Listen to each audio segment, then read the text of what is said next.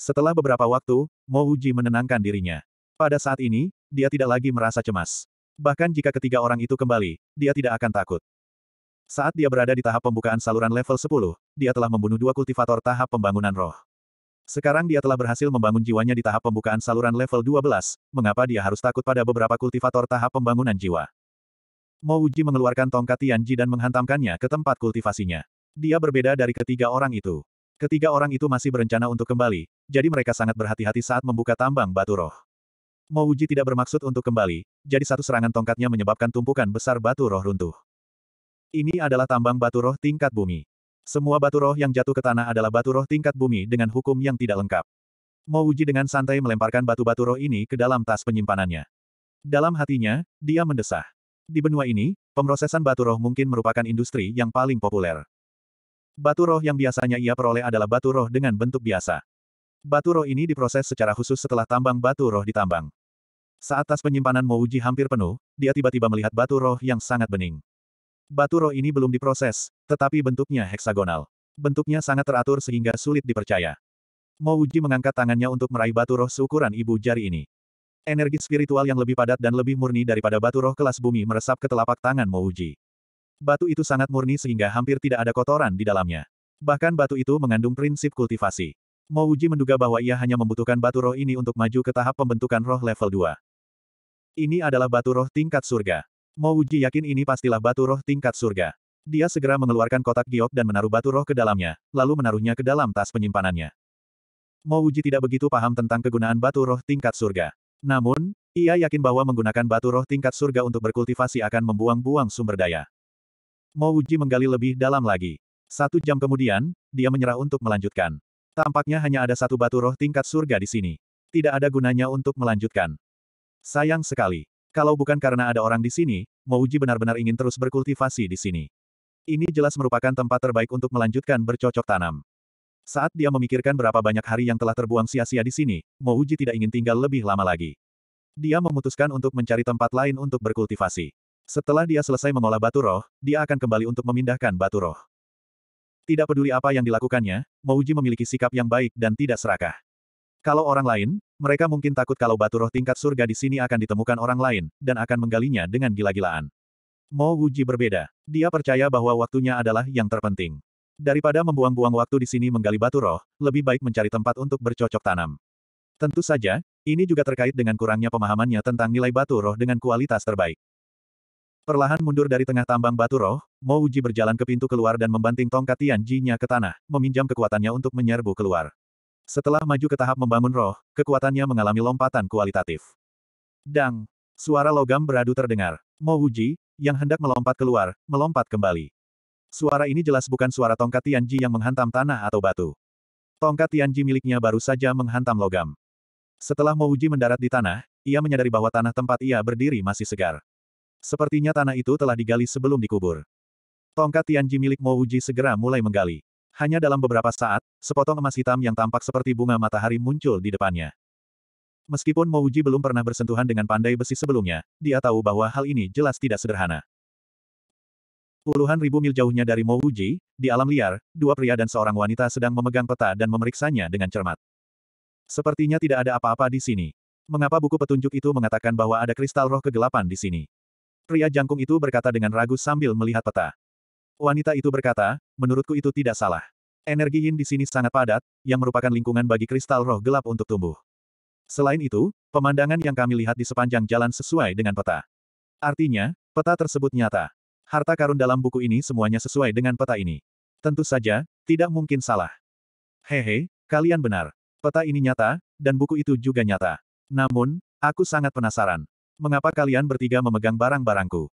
Tiba-tiba terdengar tawa kecil di samping mereka bertiga. Ketiganya menoleh.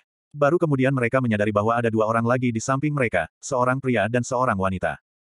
Pria itu memiliki mulut penuh gigi hitam. Dia tampak sangat menyedihkan. Seluruh kepala wanita itu terbungkus kain hitam. Hanya matanya yang terlihat. Siapa kamu? Pria kurus itu, yang ingin membeli tas penyimpanan itu dari Mouji, langsung bertanya dengan tegas. Pada saat yang sama, dia menghunus senjatanya. Aku orang jujur, lelaki malang bergigi hitam itu tiba-tiba melangkah maju dan menamparkan lelaki kurus itu. Kalau Mouji ada di sini, dia tentu akan mengenali kalau orang dengan mulut penuh gigi hitam ini adalah si Jujur Ki. Pria kurus itu jelas melihat tamparan itu datang ke arahnya. Namun, dia tidak bisa bergerak. Dia hanya bisa menyaksikan dengan ngeri saat tamparan itu mendarat di kepalanya. Puff! Otaknya berceceran. Pria itu bahkan tidak bisa bergerak sebelum dia ditampar sampai mati oleh si gigi hitam. Tidak ada alasan, tidak ada pendahuluan. Senior, apa maksudnya ini? Pria jangkung itu buru-buru mundur dan bertanya dengan suara gemetar. Kekuatan si gigi hitam ini bukanlah sesuatu yang dapat mereka lawan. Dia bahkan tidak berani mengeluarkan senjatanya. Wajah kultivator wanita pucat pasi saat dia berdiri di samping kultivator pria. Dia benar-benar tercengang. Mengapa ahli yang begitu kuat ingin menemukan mereka? Ki yang jujur tertawa lagi, tidak banyak. Izinkan saya bertanya, mengapa peta dan buklet itu ada bersama Anda? Pria jangkung itu akhirnya mengerti mengapa kedua ahli itu mencari mereka. Itu karena peta dan buklet itu. Dia buru-buru menyerahkan peta dan buklet itu kepada Honeski dengan hormat, Senior, ini dijual kepada kami oleh seorang pemuda dengan harga tinggi. Kami tidak tahu bahwa ini yang Anda inginkan. Jika kami tahu, kami pasti tidak akan berani. Tidak berani. Entah karena tidak berani membelinya atau tidak berani menyimpannya. Apa pun itu, dia akhirnya mengerti mengapa orang itu begitu baik hati memberi mereka peta dan buklet itu. Jadi itu bukan kesempatan, tetapi jimat untuk mempercepat kematian mereka. Eh, si Jujurki membuka buklet itu dan berseru kaget. Apa? Wanita bertopeng yang sedari tadi terdiam, berjalan mendekat dan bertanya dengan suara pelan. Ki Jujur membuka buklet di tangannya ke satu halaman dan berkata, pil kegelapan soliter telah hancur dan keinginan spiritualku tertinggal di dalam buklet ini.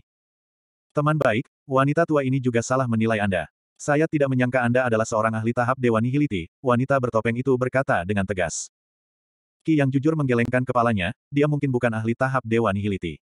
Di benua Zenmo, ada terlalu banyak orang yang telah mengolah keinginan spiritual mereka sebelum mencapai tahap Dewa Nihiliti.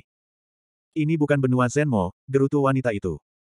Ki yang jujur tersenyum dan berkata, ada rumput matahari surgawi di sini. Maksudnya, hanya ada sedikit rumput matahari surgawi di benua Zenmo. Namun, tampaknya ada cukup banyak di antara mereka di sini. Ini berarti bahwa tingkat kultivasi benua hilang lebih rendah daripada benua Zenmo. Namun, itu tidak berarti bahwa tidak ada hal baik di sini. Mungkin ada beberapa hal baik yang memungkinkan Mouji mengembangkan kemauan spiritualnya sebelum mencapai tahap Dewa Nihiliti. Ketika wanita itu mendengar dua kata, Celestial Sungras, dia langsung menatap ke arah kultivator laki-laki tinggi itu dan berkata dengan dingin, di mana kamu sembunyikan Celestial Sungras Gold? Apa itu Celestial Sungras Gold? Tanya pria jangkung itu ragu-ragu. Ki yang jujur terkekeh dan menamparkan lagi. Si kultivator laki-laki jangkung merasa seolah-olah sekelilingnya tertutup rapat dan ketakutan akan kematian menjalar ke seluruh tubuhnya. Dia benar-benar dirugikan dan sampai sekarang, dia masih tidak tahu apa yang terjadi. Pa, tangan Ki jujur diblokir oleh wanita bertopeng itu, tunggu. Seluruh tubuh kultivator laki-laki tinggi itu basah kuyup seolah-olah dia baru saja keluar dari air. Dia tahu bahwa dia baru saja kembali dari gerbang neraka. Apakah kamu tahu apa ini? Kultivator wanita itu membuka tangannya dan sebuah gambar hitam putih pun terlihat. Kultivator pria jangkung itu melihat benda di peta dan langsung berkata, aku tahu benda ini. Senior, kita pernah menemukan tambang batu roh sebelumnya, dan menemukan benda ini di tambang batu roh. Di mana benda itu? Si Jujurki melangkah maju dan meraih pinggang kultivator laki-laki jangkung itu lalu mengangkatnya. Meskipun Honeski mengangkatnya di pinggang, karena kultivator laki-laki ini jauh lebih tinggi daripada Honeski yang pendek, kakinya tetap mendarat di tanah. Tampaknya merasa telah kehilangan muka, si Jujurki melemparkan kultivator laki-laki ini ke tanah. Benda itu ada di tambang batu roh dan kami menguburnya di tanah di samping tambang, kata pembudidaya laki-laki itu dengan takut. Cepat dan pimpin jalannya, teriak Ki Jujur. Ketika kultivator laki-laki itu melihat bahwa Honeski dan wanita itu tidak membunuh orang lagi, dia menghela napas lega.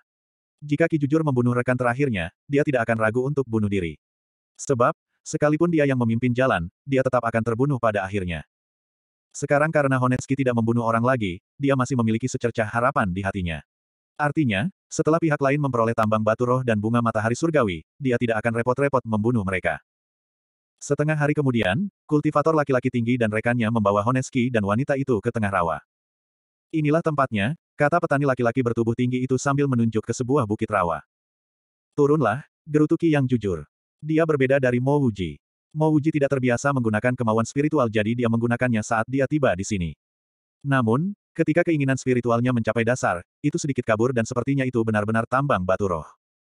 Tangan sang pembudidaya laki-laki tinggi yang sedang memegang rumput air tiba-tiba berhenti. Apa yang terjadi? Tanya kultivator wanita bertopeng itu dengan dingin. Kultivator pria jangkung itu bergegas berkata, dua senior, seseorang sepertinya telah pindah ke sini. Ketika kami pergi, tempat ini.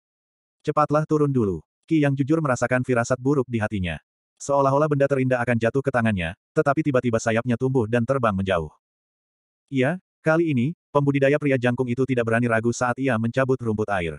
Setelah itu, ia tahu bahwa seseorang benar-benar telah berada di sini. Ini karena pintu keluarnya lebih dari dua kali ukuran sebelumnya. 182. Ketika lelaki jangkung itu membawa Ki Jujur dan wanita bercadar ke tambang batu roh bawah tanah, wajahnya berubah. Apa yang terjadi? Tanya Ki Jujur dengan suara rendah. Dia sudah bisa melihat perubahan pada ekspresi kultivator pria jangkung itu.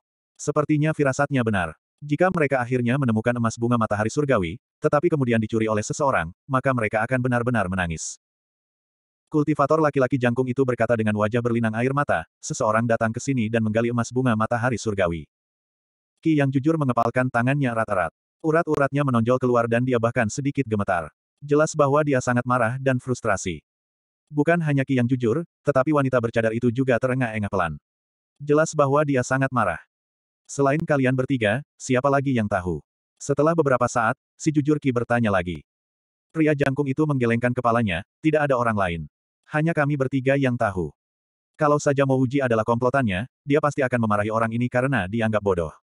Kalau dia yang menjawab pertanyaan ini, dia pasti tidak akan mengatakan hanya sedikit orang yang tahu.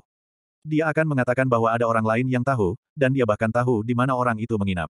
Jika memang begitu, si jujur Ki tidak akan langsung membunuhnya. Sebaliknya, dia akan memintanya untuk terus memimpin jalan. Ki yang jujur dan wanita bercadar itu saling memandang. Mereka berdua tahu bahwa kultivator pria jangkung itu tidak berbohong. Si jujur Ki mengangkat tangannya dan menamparkan mereka dua kali. Pria dan wanita malang itu bahkan tidak memiliki kesempatan untuk menikmati kekayaan yang dibawa oleh tambang batu roh sebelum mereka ditampar sampai mati oleh si jujur Ki. Kurang dari seribu mil jauhnya dari rawa ini, Mouji juga terengah-engah di gua abadi yang baru digalinya. Meskipun dia sudah berada di tahap membangun semangat, dia masih sangat lelah setelah berlari sejauh itu dengan beban sebesar itu di kepalanya. Untungnya, tempat ini cocok untuk bersembunyi. Itu adalah sungai yang sudah kering. Bahkan bagian sungai yang paling dangkal pun kedalamannya mencapai puluhan meter. Beberapa bagian bahkan mencapai puluhan meter. Mirip seperti ngarai. Namun, ini jelas bukan ngarai. Ini karena retakan di dasar sungai sangat besar dan jelas.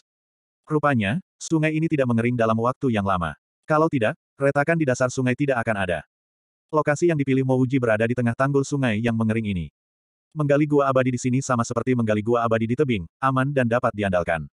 Terlebih lagi, ada beberapa dahan pohon yang layu menghalangi jalan di depan gua, membuatnya semakin tidak mencolok. Mouji bahkan memindahkan tanah segar yang digalinya. Dia bermaksud tinggal di sana untuk beberapa waktu. Ada beberapa alasan mengapa dia memilih tinggal di sini. Pertama, dia membawa benda yang sangat besar di punggungnya, jadi dia tidak mungkin bisa lari jauh. Sekarang, benda itu terkubur di tempat tersembunyi di dasar sungai yang sudah kering. Kedua, dia baru saja mencapai tahap membangun roh dan dia memiliki banyak batu roh, jadi sudah waktunya baginya untuk berkultivasi. Tentu saja, hal yang paling penting adalah Mouji tidak berani kembali untuk saat ini. Sekalipun dia sudah membangun jiwanya, dia takut saat dia kembali ke istana pencari surga, dia akan dibantai. Karena surat perintah penangkapannya bisa muncul di alun-alun kota di luar reruntuhan langit yang hilang, itu berarti memang ada orang kuat di belakang Jin Zhouxian, dan orang kuat ini juga curiga bahwa dia ada hubungannya dengan kematian Jin Zhouxian. Kalau dia juga punya pendukung, sepanjang dia tidak bisa mengendalikannya, dia tidak akan takut dicurigai. Masalah utamanya adalah dia tidak memiliki pendukung. Selain kedua masalah tersebut, masih ada satu masalah lagi, yaitu tempat ini tidak jauh dari tambang batu roh di rawa. Selama dia selesai berkultivasi dengan batu rohnya, dia selalu bisa kembali untuk memindahkannya. Ini hanyalah rencana ideal Mo Wuji. Jika dia tahu bahwa Honeski ada di sini, dia tidak akan berani berkultivasi begitu dekat dengan rawa, bahkan jika dia telah meninggalkan jejak arai di luar tambang batu roh. Namun, itu merupakan berkah tersembunyi. Mo Wuji tidak tahu bahwa Ki Jujur akan datang, jadi dia berani berkultivasi begitu dekat dengan tambang batu roh. Pada saat yang sama, si Jujur Ki tidak tahu bahwa setelah Mo Wuji memperoleh emas bunga matahari surgawi, dia bukan saja tidak pergi, dia bahkan berani berkultivasi di dekatnya. Karena itu, Mo Wuji terus berkultivasi, sementara si Jujur Ki dan wanita itu terus mencari mereka. Baik seorang pembudidaya maupun peneliti, waktu merupakan hal yang paling tidak berharga. Mo Wuji adalah seorang peneliti sekaligus kultivator. Begitu dia mulai berkultivasi secara tertutup, dia benar-benar lupa dengan lingkungannya. Pada titik ini, satu-satunya cara untuk membangunkannya adalah dengan menerobos masuk ke gua abadi tempat ia berkultivasi. Ini juga alasan mengapa Mo Wuji tidak berani berkultivasi di tambang batu roh di rawa. Untungnya, dia tidak berkultivasi di sana. Jika dia benar-benar tinggal di sana untuk berkultivasi, mayatnya pasti sudah lama menjadi dingin. Mo Wuji menuangkan semua batu roh di tas penyimpanannya. 100 meridian berpartisipasi dalam sirkulasi spiritual, dan tingkat penyerapan energi spiritualnya sangat mengejutkan. Terlebih lagi, energi spiritual di sekelilingnya sangat padat, jadi level kultivasi Mouji tampaknya meningkat setiap saat. Dua bulan kemudian, ia langsung menerobos tahap pembangunan roh level 1, dan maju ke tahap pembangunan roh level 2. Lima bulan kemudian, Mouji berhasil melewati tahap pembangunan roh level 2, dan maju ke tahap pembangunan roh level 3. Delapan bulan kemudian, Mouji berhasil melewati tahap dasar tahap pembangunan roh, dan maju ke tahap pembangunan roh level 4. Setelah membuka 100 meridian, dia tidak menghadapi hambatan apa pun dalam tingkat kultivasi yang rendah ini. Pada saat ini, Mouji terbangun dari kultivasinya yang tertutup. Dia tidak punya pilihan selain bangun, karena dia telah menghabiskan semua batu rohnya. Mouji benar-benar ingin kembali ke tambang batu roh untuk membawa lebih banyak batu roh, dan melanjutkan kultivasinya. Namun, dia merindukan Yaner. Delapan bulan telah berlalu, seharusnya tidak menjadi masalah baginya untuk kembali dan menemui Yaner sebelum keluar lagi, bukan? Mouji segera tahu bahwa dia hanya menghibur dirinya sendiri. Selama dia kembali, pasti akan ada bahaya. Namun, jika dia tidak kembali menemui Yan Er, Mouji tidak akan merasa tenang. Tidak, saya masih harus kembali. Kali ini, dia sudah pergi hampir setahun, dan dia masih tidak tahu bagaimana keadaan Yan Er. Selain Yan Er, masih ada Fei Bingzu dan kawan-kawan. Dia berjanji kepada Fei Bingzu bahwa dia akan pergi ke kota pencari surga untuk mengurus mereka. Sekarang setelah dia bergabung dengan Istana Pencarian Surga selama setahun, dia masih belum mengunjungi Fei Bingzu. Mouji membuat keputusannya, dan tepat saat dia hendak keluar, suara yang menusuk udara datang dari langit. Suara yang menusuk udara itu mendarat tepat di dasar sungai yang kering. Mouji bergegas ke pintu masuk gua untuk melihat dengan saksama, dan menemukan bahwa itu adalah pedang panjang yang patah. Tepat pada saat berikutnya, seorang pemuda berlumuran darah bergegas ke dasar sungai dan meraih pedang panjang itu. Setelah itu, orang lain bergegas turun. Orang ini memiliki rambut berwarna perak di kepalanya, dan kulitnya sangat putih. Dia tampak seperti anak laki-laki yang cantik.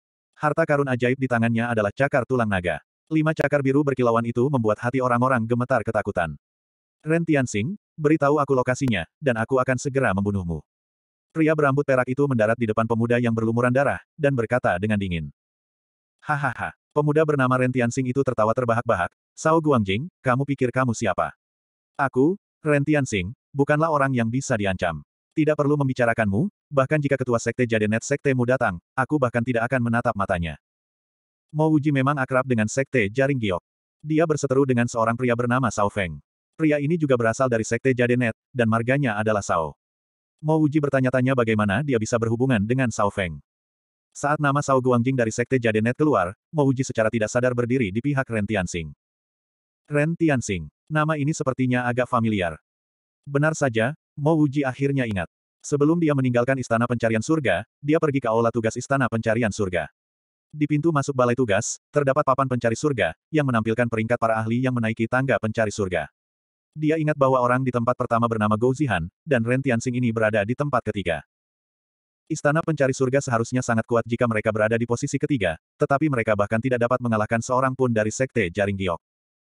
Pria bernama Sao Guangjing berkata dengan dingin, karena kau sedang mencari kematian, aku akan mengabulkan permintaanmu. Sambil berbicara, dia mengangkat cakar tulang naga di tangannya, dan cahaya dingin yang menusuk tulang membawa serta jejak aura kematian. Mo Wuji sedikit bingung. Jelas Sao Guangjing dan Ren Tianxing sedang berhadapan, jadi mengapa dia bisa merasakan aura mematikan itu? Setelah maju ke tahap menengah dari tahap membangun roh, apakah kekuatan dan inderanya mencapai tingkat seperti itu? Apakah dia tahu bahwa Sao Guangjing dipenuhi dengan niat membunuh terhadap Ren Tianxing? Ren Tianxing sama sekali tidak takut. Ia menyeka darah di sudut mulutnya, dan berkata dengan nada meremehkan, Sao Guangjing, tunggu sampai aku naik ke tahap Yuandan. Aku bisa mengalahkan sekelompok sampah sepertimu sendirian. Mo Wuji tiba-tiba mengerti. Ren Tianxing ini belum mencapai tahap Yuandan, tetapi Sao Guangjing sudah menjadi ahli tahap Yuandan. Ren Tianxing belum maju ke tahap Yuandan, jadi dia seharusnya berada di tahap lanjutan dari tahap melampaui mortalitas. Bagi seorang kultivator tahap melampaui mortalitas untuk dapat bertarung dengan seorang kultivator tahap Yuan dan sedemikian rupa, itu bukan karena dia tidak bisa melakukannya, tetapi karena dia terlalu hebat. Mati saja untukku, cakar tulang naga di tangan Sao Guangjing melesatkan beberapa bayangan dingin. Pada saat ini, Mo Wuji mengerti apa yang sedang terjadi. Orang bermarga Sao ini bahkan tidak mencoba membunuh Ren Tianxing, tetapi dia terlebih dahulu. Tidak heran dia merasakan niat membunuh. Niat membunuh itu tidak ditujukan pada Ren Tianxing, tetapi padanya, Mo Wuji. Mo Wuji bersukacita karena dia merasakan niat membunuh sejak awal, dan juga bersukacita karena dia telah maju ke tahap menengah dari tahap membangun roh. Jika tidak, dia pasti sudah mati. Tubuh Mo Wuji miring ke samping, dan pada saat yang sama, dia mengaktifkan energi unsurnya dan mengayunkan tongkat Tianji miliknya. Dia sangat jelas mengetahui betapa mengerikannya cakar tulang naga itu, dan menghindarinya begitu saja akan sia-sia. Ini karena cakar tulang naga akan berputar lagi jika tidak membunuhnya. Oleh karena itu, dia mungkin juga mengambil inisiatif untuk memblokir cakar ini. Sial, percikan api beterbangan saat Tian Jipol hancur, dan gelombang energi elemental yang dahsyat melonjak. Seluruh tubuh Mouji terpental, menghantam dinding yang digalinya, dan dia langsung memuntahkan seteguk darah. Tahap Yuan dan memang kuat. Mouji tidak mau repot-repot menyeka darah di sudut mulutnya, lalu mengayunkan tongkat Tian Ji-nya sekali lagi, dan menghantamkannya ke cakar tulang naga yang baru saja berbalik. Sial, energi unsur saling berbenturan, dan gelombang kejut dahsyat menyebar, menyebabkan separuh gua abadi Mouji runtuh. Kaki Mouji terkubur di tanah, dan sebagian kekuatan cakar tulang naga pun hilang. Melihat cakar tulang naga itu hendak menyerah dan terbang kembali, Mouji mengambil inisiatif untuk menyerbu ke depan, dan mengayunkan tongkatnya ke arah cakar tulang naga itu. Setelah berkomplot melawannya, akankah dia dapat melarikan diri dengan mudah? Hampir di saat yang bersamaan ketika Sao Guangjing bergerak, Ren Tianxing juga bergerak. Melihat Ren Tianxing bergerak, Sao Guangjing tertawa dingin di dalam hatinya. Seorang kultivator biasa di tahap transcending mortality berani mengambil keuntungan darinya. Setelah cakar tulang naganya membunuh seekor semut, dia akan mempunyai kesempatan untuk terbang kembali dan menyerang Ren Tianxing lagi. 183. Sial. Terdengar ledakan lagi. Kecepatan cakar naga itu telah melambat sepenuhnya. Namun, Mouji menyadari bahwa cakar naga itu masih berputar, dan kecepatannya meningkat lagi saat ia menyerang balik. Ini adalah perlengkapan rohani. Mouji belum pernah menggunakan peralatan spiritual sungguhan sebelumnya. Tungku pil yang ia gunakan sebelumnya hampir tidak dapat dianggap sebagai peralatan spiritual. Meskipun dia belum pernah menggunakan peralatan spiritual sebelumnya, bukan berarti Mouji tidak tahu tentang peralatan spiritual. Dia tahu bahwa peralatan spiritual memiliki jejak spiritual seorang kultivator. Meskipun Sao Guangjing dapat menanamkan jejak spiritual pada peralatan spiritual, dia hanyalah seorang kultivator tahap Yuan dan kehendak spiritualnya bahkan belum terbentuk sepenuhnya. Paling tidak, kehendak spiritualnya tidak akan lebih kuat dari Sao Guangjing. Setelah memahami logika ini, kehendak spiritual Mouji tiba-tiba menyapu ke arah cakar naga, dan mulai menghancurkan jejak spiritual di atasnya. Mouji tidak memiliki teknik kultivasi kehendak spiritual. Dia hanya memiliki kehendak spiritual karena pil penguatan roh. Jika dia berhadapan dengan Sao Guangjing, bahkan jika kemauan spiritualnya lebih kuat dari Sao Guangjing, dia tidak akan mampu menghancurkan jejak spiritual pada seorang ahli tahap Yuan Dan. Namun, Sao Guangjing terlalu meremehkan Mouji. Dia berkelahi dengan seseorang, dan bahkan mencoba membunuh Mouji dari jarak puluhan meter. Kehendak spiritual Mouji menyapu ke arah cakar naga, dan langsung menemukan jejak spiritual Sao Guangjing. Dia telah menghancurkan jejak kehendak spiritual Honeski sebelumnya, tetapi itu dengan cara membelah pil tersebut. Karena Ki Jujur terlalu kuat, Mouji tidak berani menggunakan kemauan spiritualnya untuk menyerang jejak spiritual Ki Jujur secara langsung. Sekarang, Mouji tidak memiliki keraguan sedikit pun tentang jejak spiritual Sao Guangjing. Semangat spiritualnya yang kuat mendarat pada jejak spiritual Sao Guangjing. Hanya dalam tiga serangan, ia berhasil membuat lubang pada jejak spiritual Sao Guangjing. Setelah merobek jejak spiritual Sao Guangjing, kehendak spiritual Mouji langsung menemukan cara untuk menghancurkan jejak spiritual Sao Guangjing dalam waktu sesingkat mungkin. Cakar naga yang awalnya mengamuk, setelah jejak spiritualnya dihancurkan oleh Mouji, langsung jatuh ke tanah seolah-olah mati. Mouji berpikir tentang bagaimana benda ini hampir merenggut nyawanya. Setelah cakar naga itu jatuh ke tanah, dia masih mengayunkan tongkatnya ke bawah. Sao Guangjing menemukan Mo Wuji, dan Ren Tianxing juga samar-samar merasakan ada seseorang di dekatnya. Meskipun dia tidak bisa merasakan kekuatan Mo Wuji yang sebenarnya, Mo Wuji bisa dirasakan oleh Sao Guangjing.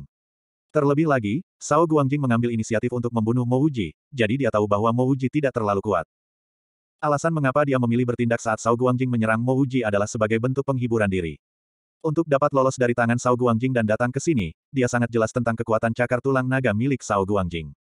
Ren Tianxing bahkan bersiap menghadapi Sao Guangjing yang akan mencabut cakar naganya dan menyerangnya. Baik dia maupun Sao Guangjing tidak menyangka bahwa cakar tulang naga milik Sao Guangjing tidak akan kembali. Bukan saja dia tidak dapat kembali, tetapi sebelum cahaya pedang Ren Tianxing bisa mencapai Sao Guangjing, Sao Guangjing menyemburkan seteguk darah dan terhenti. Bagaimanapun juga, Ren Tianxing adalah kebanggaan surga dari Istana Pencari Surga. Tidak perlu membicarakan berapa banyak pertempuran yang telah dilaluinya, hanya pengetahuannya saja bukanlah sesuatu yang dapat dibandingkan dengan seorang kultivator nakal biasa. Begitu dia melihat Sao Guangjing memuntahkan darah, dia tahu bahwa jejak spiritual harta karun ajaib Sao Guangjing telah rusak. Itulah kesempatan yang terbaik, karena saat jejak spiritual pada harta ajaib itu hancur, orang tersebut akan berada dalam kondisi yang amat lemah, dan kondisi itu akan lenyap dalam sekejap mata. Ren Tianxing yang semula bersiap meneruskan pelariannya, tidak lagi menahan diri, dan cahaya pedangnya berubah menjadi garis-garis pelangi pedang. Semua pelangi pedang ini menyerbu ke dalam tubuh Sao Guangjing saat jejak spiritualnya hancur, menyebabkan tujuh hingga delapan aliran darah menyembur keluar dari tubuh Sao Guangjing. Sao Guangjing menjerit mengerikan, dan seluruh tubuhnya terlempar mundur. Tiba-tiba, rasa takut muncul di hatinya. Sekarang, masalahnya bukan lagi apakah dia bisa membunuh kedua semut ini, tetapi apakah dia bisa melarikan diri. Mati saja untukku. Saat Sao Guangjing masih di udara, bayangan tiang jatuh. Pada saat Ren Tianxing menyerang Sao Guangjing, Mouji melompat keluar dari gua, dan mengayunkan tongkat Tian Jinya di udara. Ketika kekuatan seseorang tidak mencukupi, seseorang harus menangkap kesempatan. Jika kekuatannya tidak mencukupi, dan waktunya tidak tepat, maka akan sulit baginya untuk bertahan hidup. Itulah yang dialami Mouji sejak ia datang ke benua ini. Sebelumnya, saat dia berada di tahap pembukaan saluran level 10, dia mampu membunuh dua penggarap pembangun roh, tetapi itu bukan karena dia jauh lebih kuat dari mereka. Itu karena dia mampu menukar kehidupan dengan kehidupan, dan memahami waktu pada saat pertukaran.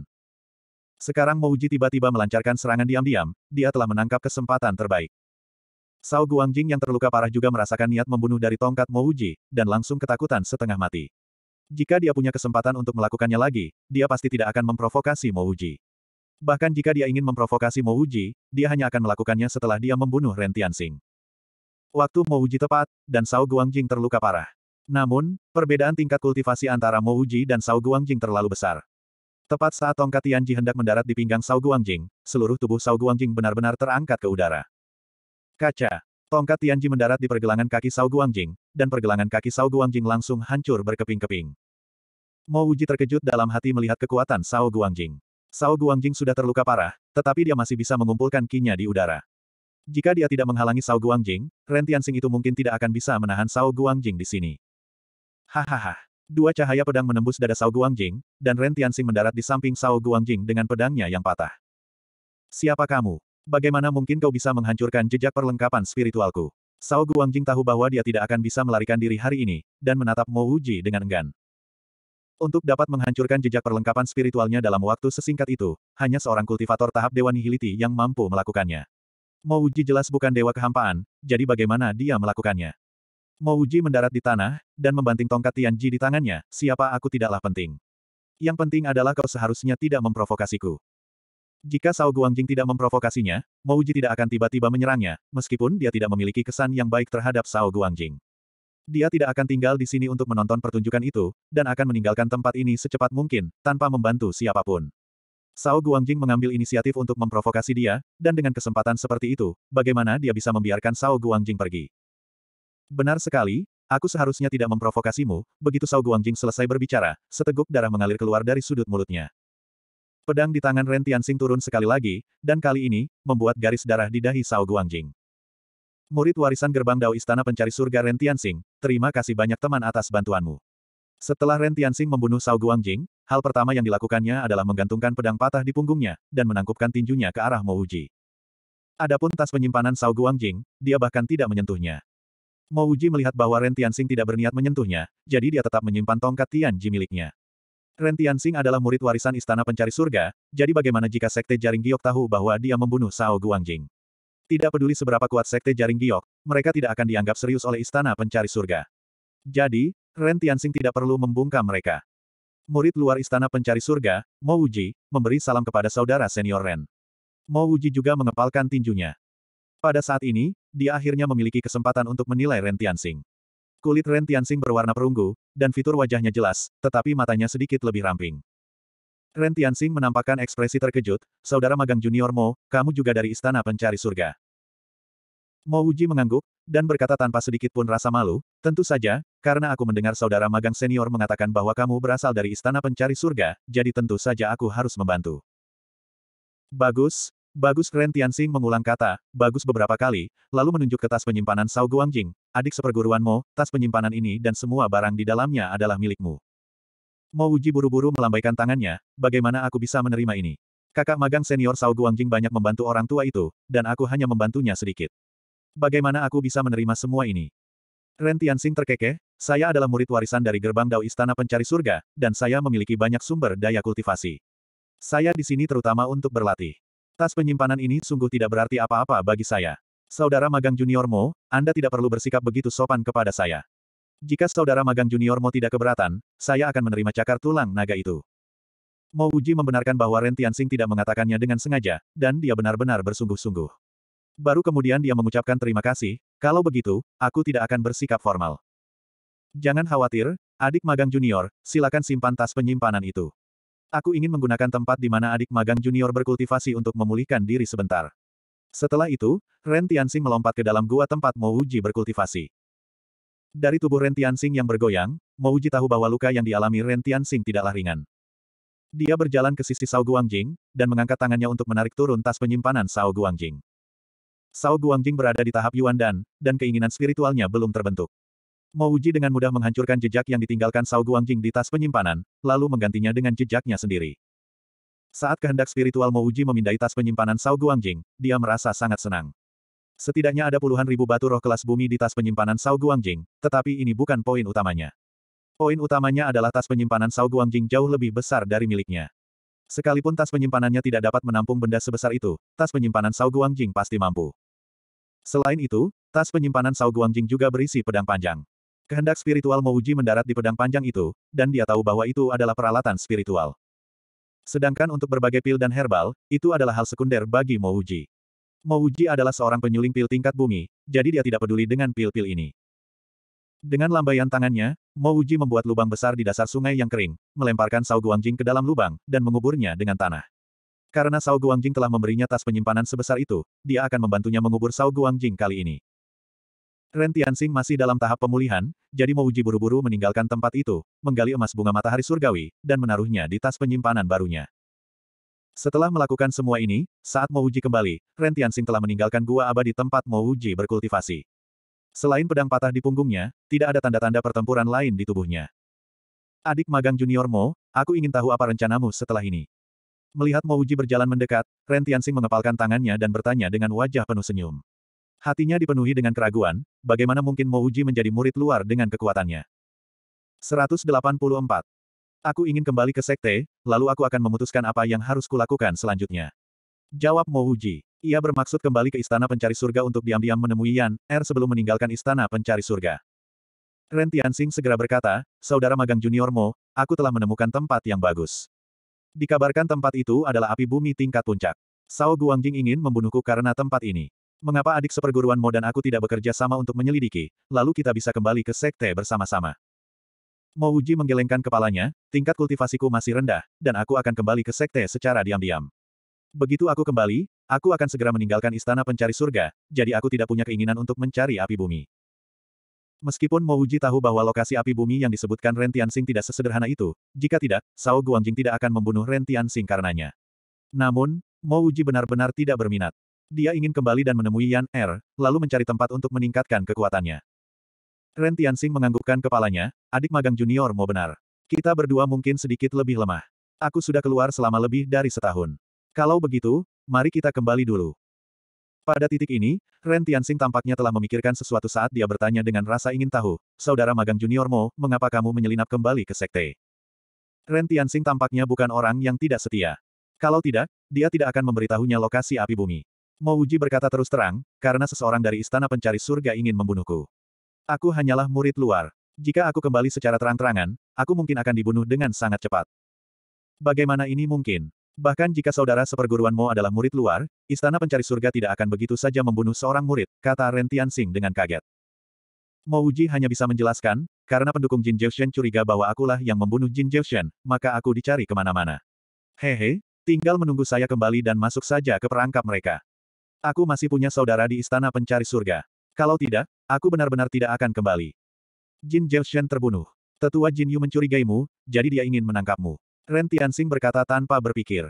Pendukung Jin Jiushen di Istana Pencari Surga adalah tetua Jin Yu. Oleh karena itu, Ren Tianxing segera mengerti apa yang ingin dikatakan Mo Wuji. Apakah itu penatua Jin Yu? Aku benar-benar tidak tahu. Mo Wuji mengusap hidungnya. Ren Tianxing berkata, penatua Jin Yu adalah tetua kelima dari sekte Dao kita. Dia sangat kuat. Dia juga senior Jin Jiushen, dan dialah yang membawa Jin Jiushen ke sekolah Dao Istana Pencari Surga. Jika Jin Jiushen terbunuh, dia akan menjadi gila. Tapi aku tidak begitu peduli dengan murid seperti ini. Dengan kata lain, meskipun Jin Jiushen adalah murid dengan akar spiritual tingkat tinggi, dia bukanlah apa-apa di mata Ren Tianxing. Ngomong-ngomong, mengapa tetua Jin Yu mencurigaimu? Ren Tianxing segera merasa ada yang tidak beres. Jin Yu adalah seorang ahli dari Sekte Dao. Dia tidak akan mencurigai seseorang tanpa alasan. Mo Wuji berkata tanpa daya, karena Jin Jiushen itu benar-benar dibunuh olehku. Saat ceramah, aku duduk di barisan pertama, dan entah bagaimana menyinggung orang ini. Ketika aku meninggalkan istana pencari surga, dia membawa serta dua orang kultivator tahap pembentukan roh untuk menyergap dan membunuhku. Ren Tianxing menatap kosong ke arah Mo Wuji. Dia bertanya-tanya mengapa tetua Jin Yu mencurigai Mo Wuji tanpa alasan. Jadi Jin Jiushen benar-benar dibunuh oleh Mo Wuji. Mo Wuji ini benar-benar berani. Seorang murid luar berani membunuh Jin Jiushen. Namun, Jin Jiushen ini juga seorang idiot. Dengan kekuatan Mo Wuji, bagaimana mungkin dia bisa dibunuh oleh dua kultivator tahap pembentukan roh? Yang tidak diketahuinya adalah bahwa peningkatan kekuatan Mo Wuji baru terjadi dalam beberapa bulan terakhir. Saat Jin Jiushen menyergap Mo Wuji, Mo Wuji hanya berada di tahap pembukaan saluran. Saudara magang junior Mo, kamu tidak kekurangan logika. Yang lebih penting, apakah Jin Yu itu punya bukti untuk membuktikan bahwa kamu yang membunuh Jin Jiushen? Meskipun Ren Tianxing dan Jin Jiushen sama-sama berasal dari Sekte Dao, dia tidak terlalu peduli dengan murid yang mementingkan diri sendiri seperti Jin Jiushen. Mo Wuji bergumam pada dirinya sendiri sebelum berkata dengan yakin, pasti tidak akan ada bukti. Jin Yu hanya menilai bahwa akulah yang membunuh Jin Jiushen berdasarkan konflik antara aku dan dia. Alasan mengapa dia berani mengatakan ini adalah karena Mo Wuji tidak membawa apa pun bersamanya. Selain itu, ia menggunakan kemauan spiritualnya untuk memindai sekelilingnya, sehingga tak seorang pun dapat menemukannya. Ren Tianxing terkekeh dan bertepuk tangan, kalau begitu, adik seperguruan mau bisa ikut aku kembali ke istana pencari surga secara terang-terangan. Saya jamin, bahkan jika tetua Jin Yu berdiri di hadapan Anda, dia tidak akan berani menyentuh sehelai rambut pun di kepala Anda. Yang aku khawatirkan adalah begitu kau meninggalkan istana pencarian surga, dia akan menemukan kesempatan untuk menghentikanmu. Terima kasih banyak, saudara magang senior Ren. Adapun cara meninggalkan istana pencari surga, aku punya caranya sendiri. Mo Wuji memberitahu Ren Tianxing tentang situasinya, dengan sedikit niat untuk meminta bantuan darinya. Jika Ren Tianxing tidak mampu membantu, biarlah. Mo Wuji menduga bahwa karena Ren Tianxing mampu menduduki peringkat tiga di tangga pencarian surga, dia pasti memiliki status tertentu di istana pencarian surga. Realitas membuktikan bahwa dia benar. Dengan kemauan spiritualnya, mengapa dia takut tidak bisa meninggalkan istana pencarian surga? Baiklah, kalau begitu, ayo kita kembali sekarang. Ren Tianxing berkata terus terang. Ren Tianxing dapat melihat bahwa mereka berdua bergerak sangat cepat. Meskipun kecepatan Mouji tidak buruk, dia seharusnya masih dalam tahap membangun roh. Seorang kultivator tahap pembangunan roh ternyata mampu menghalangi cakar tulang naga milik Sao Guangjing. Saudara magang junior Mo, tingkat kultivasimu tidak rendah, mengapa kamu berada di sekte luar? Dua hari kemudian, mereka berdua semakin mengenal satu sama lain, dan Ren Tianxing tidak lagi menahan pertanyaannya.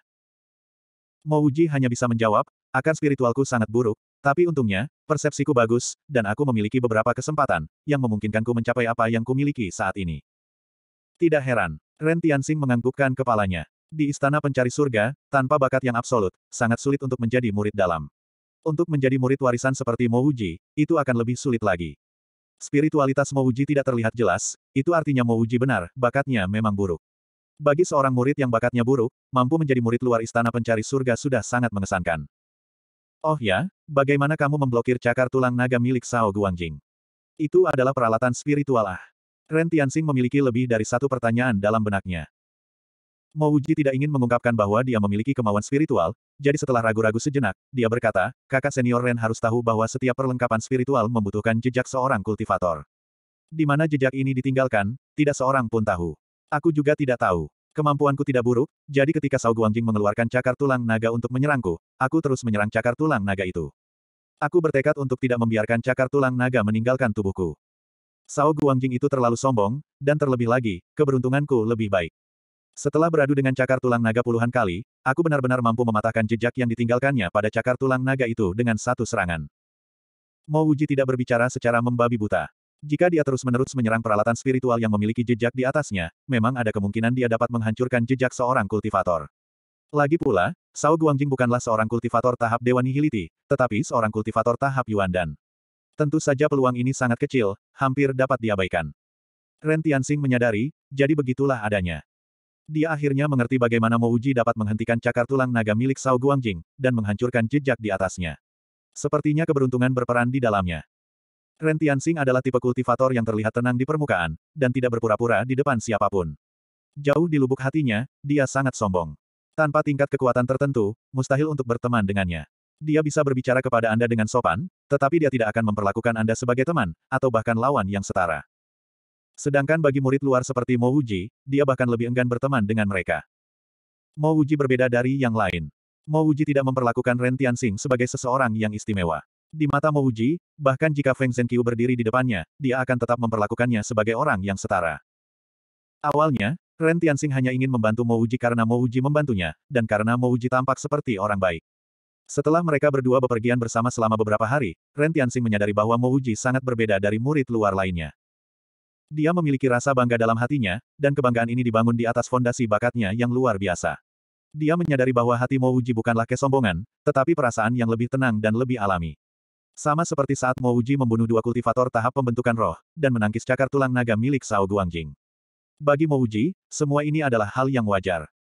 Dengan kata lain, jika suatu hari Mouji melampaui dirinya, Ren Tianxing, hal ini mungkin tampak tidak masuk akal bagi orang lain, atau bahkan bagi Ren Tianxing.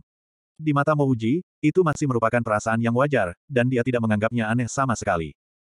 Perasaan alami Mouji telah memberikan pukulan bagi harga diri Ren Tianxing. Di hadapan Mouji, dia selalu merasa bahwa dirinya tidak berhak bersikap sombong, atau lebih tepatnya, dia tidak bisa bersikap sombong. Meskipun Mouji hanya murid luar, Mouji memiliki kepercayaan diri yang melampaui dirinya sendiri. Berteman dengannya tidak membuat Mouji merasa itu masalah besar. Bagi Ren Tianxing, berteman dengan orang lain hanyalah hal yang biasa saja. Kalau mereka bisa akur, mereka akan berteman. Kalau tidak, mereka akan berpisah. Ren Tianxing berubah dari takjub menjadi kagum, dan akhirnya, dia merasa bahwa berteman dengan Mouji bukanlah masalah besar bagi Mouji. Semakin banyak mereka mengobrol, semakin banyak pula yang Ren Tianxing pelajari dari Mouji tentang misteri alam semesta. Dia setuju dengan dugaan Mouji bahwa benua yang hilang hanyalah sebuah planet, dan ada banyak sekali planet seperti benua yang hilang di luar angkasa yang luas ini. Menurut apa yang dikatakan Mouji, ada banyak sekali planet yang mirip dengan benua yang hilang di angkasa luas.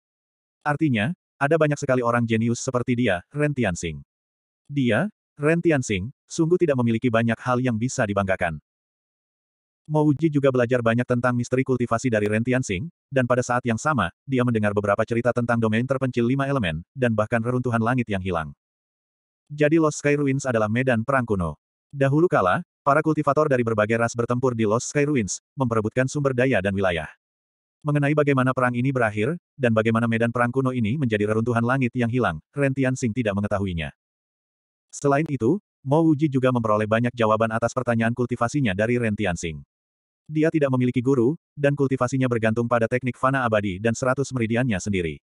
Sekalipun terjadi kesalahan dalam kultivasinya, seratus meridiannya tidak akan menyebabkan energi spiritualnya terhalang, dan dia akan menjadi gila. Namun, kalimat sederhana dari Ren Tianxing sudah cukup memberinya manfaat. Mouji yakin bahwa selama dia bisa kembali dan berkultivasi selama satu atau dua hari, dia akan mampu maju ke tahap pembangunan roh level 5. 185. Sebulan kemudian, Mouji dan Ren Tianxing kembali ke Istana Pencarian Surga. Dalam satu bulan ini, Mouji tidak berkultivasi, tetapi perolehannya jauh lebih besar daripada kultivasinya. Ren Tianxing mampu menjawab segala macam pertanyaan yang dia miliki tentang kultivasi secara rinci. Saat Mouji dan Ren Tianxing kembali ke Istana Pencari Surga, mereka merasakan ada sesuatu yang salah. Tampaknya ada suasana yang agak tegang dan serius di Istana Pencari Surga.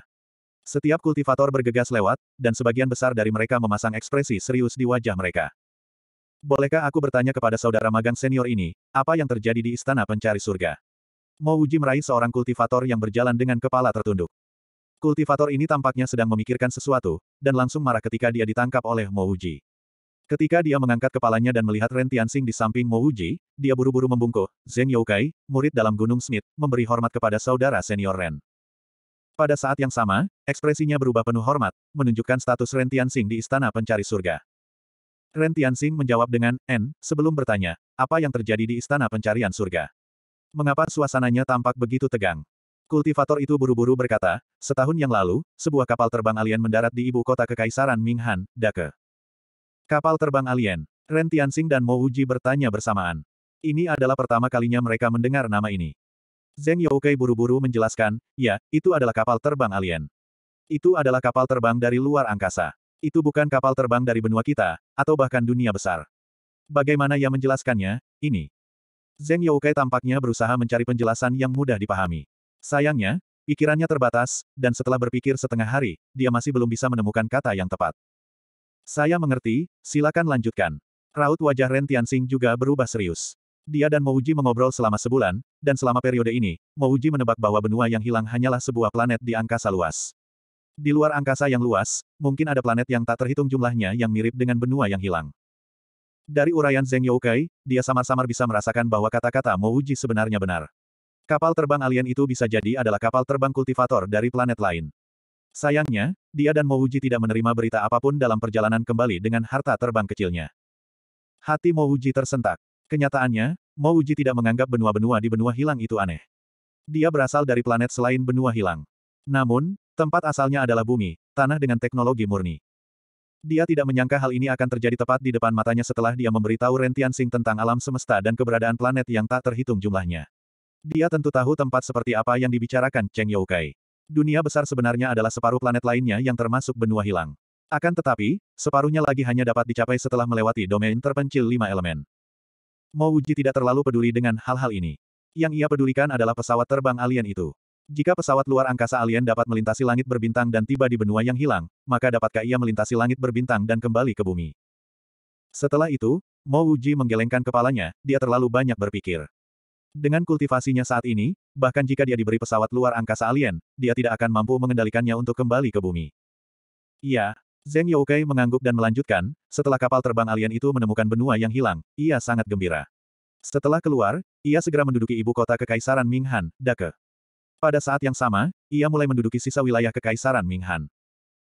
Ren Tianxing bertanya dengan ragu, apakah Kekaisaran Minghan tidak mencari bantuan dari Sekte Pelindung Negara mereka? Zheng Youkai berkata dengan penuh kebencian, bagaimana mungkin mereka tidak melakukannya. Setelah sekte-sekte Kekaisaran Ming Han mengirim orang-orangnya, mereka tidak hanya gagal menghancurkan kaum barbar, mereka bahkan dikirim kembali ke sekte mereka. Pada akhirnya, termasuk sekte pelindung negara Kekaisaran Ming Han, sekte Yuan Tinggi, beberapa sekte kuasi surga, seperti sekte kota surgawi, gerbang pedang berkabut, sekte seratus pandai besi, semuanya hancur. Adapun sekte bumi dan suan, bahkan ada lebih banyak lagi yang hancur. Mo Wuji menghirup udara dingin. Dia belum pernah ke Kekaisaran Ming Han, tetapi dia pernah mendengar tentang Sekte Yuan Tinggi dan Gerbang Pedang Berkabut. Ini adalah sekte yang tidak lebih lemah dari kuil surgawi, tetapi mereka sebenarnya dihancurkan oleh para pembudidaya asing. Dia dan Ren Tianxing membawa kembali kapal terbang kecil itu, tetapi mereka tidak mendengar kejadian sebesar itu. Zheng Youkai melanjutkan, karena para bajingan ini tidak berguna, mereka datang ke istana pencari surga kita, menyebabkan dekan istana pencari surga Fei Ming jatuh di Kekaisaran Ming Han. Apa, maksudmu Din Fei jatuh di Kekaisaran Ming Han? Ren Tianxing dengan cemas memegang bahu Zheng Youkai. Zheng Youkai menjerit kesakitan, dan Ren Tianxing buru-buru melepaskannya, tetapi ekspresinya bahkan lebih cemas, Din Fei adalah ahli tahap dewa sejati, bagaimana dia bisa jatuh? Zheng Youkai tidak mempermasalahkan kekasaran Ren Tianxing, tetapi berkata dengan putus asa, orang-orang itu terlalu kuat, dan harta sihir terbang mereka terus-menerus mendarat di lima kerajaan besar. Bukan hanya Dekan Fei saja yang gugur, banyak saudara-saudari senior Istana Pencari Surga kita juga gugur di medan perang bersama para kultivator alien. Saya hendak menuju medan perang, tetapi karena saya sedang berpikir untuk menggunakan poin saya untuk ditukar dengan beberapa pil, saya menjadi linglung. Ren Tianxing berkata dengan marah, jangan bilang istana pencari surga kehilangan nyawa mereka. Bagaimana dengan sekte lain di lima kerajaan besar? Bukan hanya istana pencari surga, sekte lain juga mengirim banyak ahli ke sana. Istana pencarian surgaku dipimpin oleh Dekan Feng, dan terus-menerus mengirim pengikut ke medan perang, jawab Zheng Youkai.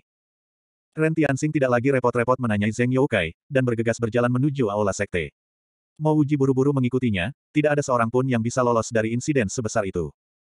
Ada banyak pengikut istana pencari surga berkumpul di aula, tetapi Mo Wuji tidak mengenali satu pun dari mereka. Namun, saat Ren Tianxing masuk, banyak orang langsung datang menyambutnya. Semuanya, tenanglah. Kali ini, medan pertempuran hutan kabut petir dipimpin oleh tetua Danau Pedang, Zhu Yuesan, seorang tetua berjalan ke arah aula dan berteriak keras, meredam kebisingan di aula. Mo Wuji sangat akrab dengan hutan kabut guntur, karena sebelumnya dia pernah ke hutan kabut guntur di negara bagian Chengyu.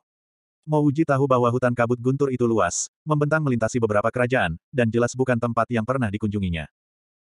Saat ini, Mo Wuji tidak peduli dengan hutan kabut petir ataupun medan pertempuran dengan para kultivator alien, dia lebih peduli dengan Yan Er. Melihat Ren Tianxing berbicara kepada kerumunan kultivator, Mo Wuji ingin meninggalkan aula dan menuju pagoda pil. Karena insiden sebesar itu telah terjadi di lima kerajaan besar, Jin Yu dari Sekte Dao itu tidak akan punya energi untuk berhadapan dengan seorang murid luar seperti dia. Tepat saat Mo Wuji hendak meninggalkan aula, dia melihat Yan, Er dan seorang wanita paruh baya masuk, dan di belakang mereka, ada seorang gadis muda. Mo Wuji telah melihat gadis muda ini berkali-kali, dia adalah salah satu saudara kembar di sisi nenek Linglong. Salam, ahli Pil Jinwen. Yang tidak diduga Mo Wuji adalah setelah wanita paruh baya itu masuk, Kerumunan murid menyambutnya, dan bahkan tetua yang meminta semua orang untuk diam juga mengepalkan tangannya untuk memberi salam. Mo Wuji sama sekali tidak mempedulikan hal ini, tatapannya tertuju pada Yan Er. Dia tidak bertemu Yan Er selama setahun, dan Yan Er menjadi semakin ramping dan anggun, seperti bunga teratai yang baru tumbuh. Ditambah dengan hilangnya bekas luka di wajahnya, dia tampak semakin cantik dan memikat. Akan tetapi, hati Mo Wuji menegang, wajah itu jelas dikenalnya, tetapi dia merasakan ada sesuatu yang asing. Baru saja tatapan Yan, Er melihatnya dengan jelas, namun itu hanya sekilas. Tubuh Yan, Er dikelilingi oleh spiritualitas, bahkan orang luar seperti Mo Wuji pun dapat merasakannya. Yan, Er telah membangun semangatnya, dan levelnya juga tidak rendah. Mo Wuji tiba-tiba merasakan kehilangan, dia berharap Yan Er akan membangun semangatnya, tetapi dia tidak ingin Yan Er melupakannya. Yan Er, semangatmu sudah terbentuk. Mo Wuji melangkah ke samping Yan Er dan bertanya dengan heran. Jika Yan Er benar-benar telah membangun semangatnya, maka kecepatan kultivasinya akan sangat mengejutkan, bahkan lebih cepat darinya. Kita harus tahu, dia telah membuka seratus meridian. Siapa kau? Sebelum Yan Er sempat berbicara, wanita parubaya di sampingnya berbicara. Mo Wuji buru-buru berkata, Murid itu adalah teman Yan Er, Mouji dari Gunung Sekte Luar, bolehkah aku bertanya nama senior? Wanita parubaya itu sedikit mengernyit, lalu berkata dengan dingin, kalau begitu, minggirlah, jangan halangi jalan. Mouji juga mengerutkan kening, siapa wanita ini, mengapa dia begitu kasar? Yan Er, apakah kamu masih mengingatku? Meskipun dia tidak menyukai wanita parubaya ini, Mouji terus bertanya pada Yan Er. Awalnya, menurut Nenek Linglong, dia seharusnya berbicara lebih banyak kepada Yan Er sebelum dia membangun jiwanya. Akan tetapi, pertama kali dia bertemu Yan Er, dia sedang berada di titik kritis dalam kultivasinya yang tertutup. Dia hanya bisa pergi sementara, dan menunggu Yan Er keluar sebelum kembali. Dia tidak menyangka kejadian dengan Jin Jiushen akan terjadi, dan dia tidak berani kembali ke sekte untuk waktu yang singkat. Kecepatan kultivasi Yan Er sungguh cepat, dia bahkan belum kembali ke sekte selama setahun, dan Yan Er telah membangun semangatnya. Yan, Er mengernyitkan dahinya sedikit, dan menatap Mo Wuji dengan curiga, dia tidak mengerti mengapa Mo Wuji menyapanya dengan sebutan yang begitu akrab. Dia bahkan mengatakan bahwa dia adalah temannya, kapan dia punya teman seperti itu. Enyahlah. Melihat Mo Wuji tidak tahu diri, wanita parubaya itu berteriak dengan marah, dan dengan lambaian tangannya, dia menamparkan ke arah Mo Wuji. Meskipun reaksi Mo Wuji cepat, dan dia menghindar dalam waktu sesingkat mungkin, dia masih terkena sisa kekuatan tamparan itu, dan hampir jatuh ke tanah. Ahli Pil Jinwen, bukankah tidak pantas bagimu memperlakukan junior seperti ini? Ren Tianxing berjalan mendekat dan berkata dengan dingin. Wanita parubaya ini jelas mengenali Ren Tianxing, dan sambil mendengus dingin, dia menarik Yan, Er menjauh. Siapa wanita ini? Mo Wuji bertanya dengan tidak senang dalam hatinya. Ren Tianxing tertawa getir, dan berkata lembut, dia adalah murid pertama Nenek Linglong, si Jinwen, seorang penyuling pil bumi tingkat 6. Seorang ahli di True Lake Stage level 9. Dia sebenarnya adalah kakak perempuannya Yan, Er. Mo Wuji menatap wanita parubaya ini dengan mata terbelalak, dan berpikir dalam hati, apakah wanita ini menjalani hidupnya seperti anjing. Nenek Linglong tampak begitu muda dan cantik, jadi bagaimana murid pertamanya menjadi seorang wanita parubaya. Tak lama kemudian, dia menyadari bahwa ini bukan saatnya untuk mengkhawatirkan apakah pihak lain adalah seorang wanita tua. Saat memikirkan hal ini, Mo Wuji melangkah maju dan menarik gadis kembar itu. Kakak senior, apakah kamu tidak memberitahu Yan, Er tentang aku? 186. Ah, gadis kembar itu mengeluarkan suara, ah, sebelum berkata dengan nada meminta maaf, aku tidak sempat memberitahumu. Yan, Er telah menyendiri selama ini. Wajah Mo Wuji menjadi gelap. Apa maksudnya dengan terlambat? Ini hanya alasan. Dia tidak percaya bahwa Nenek Linglong telah berbohong kepadanya saat itu. Bahkan jika dia tidak memiliki waktu dan kesempatan untuk berbicara dengan Yan, Er sesering mungkin, Nenek Linglong akan mengatakan yang sebenarnya kepada Yan Er. Yan Er, aku Mo Wuji. Apa kau benar-benar tidak mengingatku? Kali ini, Mo Wuji tidak mengejarnya, tetapi berteriak keras. Tatapan semua orang tertuju pada Mo Wuji. Mo Wuji telah pergi selama hampir setahun, jadi dia tidak tahu siapa Yan Er. Namun, semua orang di Istana Pencarian Surga tahu siapa Yan Er. Dia adalah satu-satunya kultivator akar spiritual varian lima elemen di Istana Pencari Surga, dan juga kultivator tercepat di Istana Pencari Surga. Dalam waktu satu tahun, ia berhasil menembus tahap pembukaan saluran. Ia tidak hanya berhasil membuka 100 saluran spiritual, ia bahkan berhasil berkultivasi hingga tahap pembukaan saluran level 10 dan berhasil membangun spiritualnya. Pada saat ini, Yan Er sudah menjadi ahli di Spirit Building level 7. Seseorang dapat membayangkan bahwa dalam waktu dekat, Lady Yan Er mungkin akan menjadi ahli tahap dewa sejati pertama dari generasi baru Istana Pencari Surga. Kalau bukan karena kemunculan para kultivator alien di benua hilang, nama Yan Er pasti sudah mengguncang seluruh benua hilang, dan dia pasti akan menjadi kebanggaan Istana Pencari Surga. Meskipun Istana Pencarian Surga sedang sibuk dengan para pembudidaya alien, Nenek Linglong masih mengirim si Jinwen untuk mengikuti di sisi Yan Er. Si Jinwen bukan hanya seorang penyuling pil bumi tingkat 6, kemampuannya juga terkenal di seluruh Istana Pencari Surga. Mo Wuji. Kaulah yang mengirimku ke sisi majikanku dan memohon agar majikanku menyelamatkanku. Ketika Yan Er mendengar tiga kata ini, dia berbalik dan berjalan kembali. Mo Wuji terkejut. Dia tidak menyangka bahwa seseorang telah memberitahu Yan Er tentang hal ini. Mungkin Nenek Linglong. Benar sekali, ini aku. Yan Er, apakah kamu tidak ingat masa lalu? Mo Wuji berkata dengan tergesa-gesa. Melihat Yan Er mengambil inisiatif untuk berbicara pada Mo Wuji, si Jinwen tidak mengatakan apa pun meski dia tidak senang. Yan Er bukan hanya harta karun pagoda pil, tetapi juga harta karun istana pencari surga. Yan, Er berkata dengan lembut, Kakak Mo, meskipun aku tidak ingat masa lalu, aku masih ingat masa lalu. Guru berpesan agar saya mengingat kebaikan Anda. Jika kau tak menyelamatkanku, aku mungkin sudah mati sejak lama. Meskipun Mo Wuji dapat mendengar rasa terima kasih yang mendalam dalam suara Yan, Er, dia tidak merasa senang sedikit pun. Yan, Er bukan lagi Yan, Er yang selalu menemaninya dan melakukan apa saja untuknya. Dia akhirnya mempunyai pikiran dan pendapatnya sendiri. Mo Wuji sebenarnya ingin terus berbicara tentang prefektur Qin Utara dan negara bagian Chengyu, tetapi Nenek Linglong tidak tahu tentang hal-hal ini, jadi dia perlu memberitahu Yan Er sendiri. Tetapi melihat rasa terima kasih dan kemandirian Yan Er, Mo Wuji tiba-tiba kehilangan keinginan untuk memberitahu Yan Er semua hal itu. Masa lalu biarlah berlalu. Bukankah dia selalu ingin Yan Er memiliki pendapat dan pikirannya sendiri? Sekarang Yan Er sudah memilikinya, dia tidak hanya memiliki semua ini, dia juga memiliki bakat yang kuat dan seorang guru. Dia seharusnya senang untuknya. Kakak Mo, terima kasih. Aku sudah lama ingin mencarimu, tetapi aku selalu bersembunyi di balik pintu. Kali ini, guru tidak ada di sana, jadi aku mendesak kakak senior untuk membawaku ke tempat para kultivator alien bertempur. Begitulah cara kami berkesempatan bertemu. Saat dia berbicara, Yan Er telah mengeluarkan tas penyimpanan dan menyerahkannya kepada Mo Uji. Kakak Mo, ini adalah tanda terima kasihku. Meskipun aku tahu bahwa dibandingkan dengan anugerah penyelamat hidupmu, ini tidak ada apa-apanya. Aku harap kakakmu tidak akan meremehkan hal-hal ini. Mo Wuji tanpa sadar menerima tas penyimpanan itu. Kenyataannya, memberikan tas penyimpanan sebagai hadiah adalah hal yang sangat boros. Lagi pula, ada barang lainnya lagi di dalam tas penyimpanan itu. Yan, Er, jika kau ingin tahu tentang kenangan masa lalumu, aku bisa memberitahumu. Rasa kehilangan menyergap hati Mo Wuji, dia bahkan tidak tahu mengapa dia mengatakan hal yang tidak ingin dia katakan.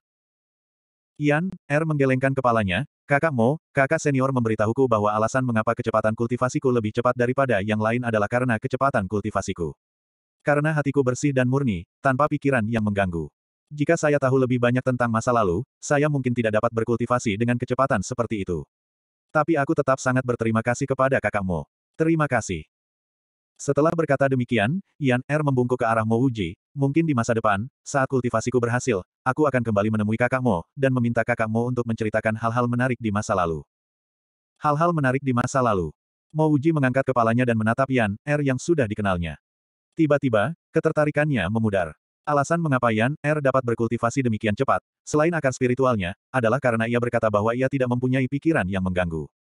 Tidak ada kultivator lain yang bisa seperti Yan Er. Dia tidak terganggu oleh dunia luar, dan hatinya tidak dipenuhi dengan begitu banyak pikiran yang tidak jelas. Terima kasih banyak atas hadiah Nona Yan, Er. Aku akan menyimpannya. Mouji menyimpan tas penyimpanan itu, dan tiba-tiba tertawa, sebenarnya, tidak banyak yang terjadi di masa lalu. Aku hampir melupakannya. Baiklah, biarkan saja seperti ini. Jika Nona Yan, Er mengalami kesulitan di masa mendatang, Anda masih dapat menemukan saya. Di hati saya, saya akan selalu menjadi kakak laki-laki Anda. Huff. Si Jinwen mendengus, seorang murid luar biasa berani menyombongkan diri tanpa malu. Yan, Er, ayo pergi. Yan, Er berbalik dan membungkuk ke arah Mo Wuji, terima kasih, kakak Mo. Yan, Er pasti akan mengingat ini.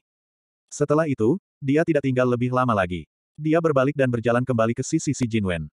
Mo Wuji memandang Yan, Er yang pergi, dan hatinya dipenuhi emosi. Dia telah berada di dunia ini selama lebih dari setahun, tetapi dia masih belum melihat dirinya sebagai seorang kultivator sejati. Banyak hal yang dilakukannya bercampur dengan emosinya.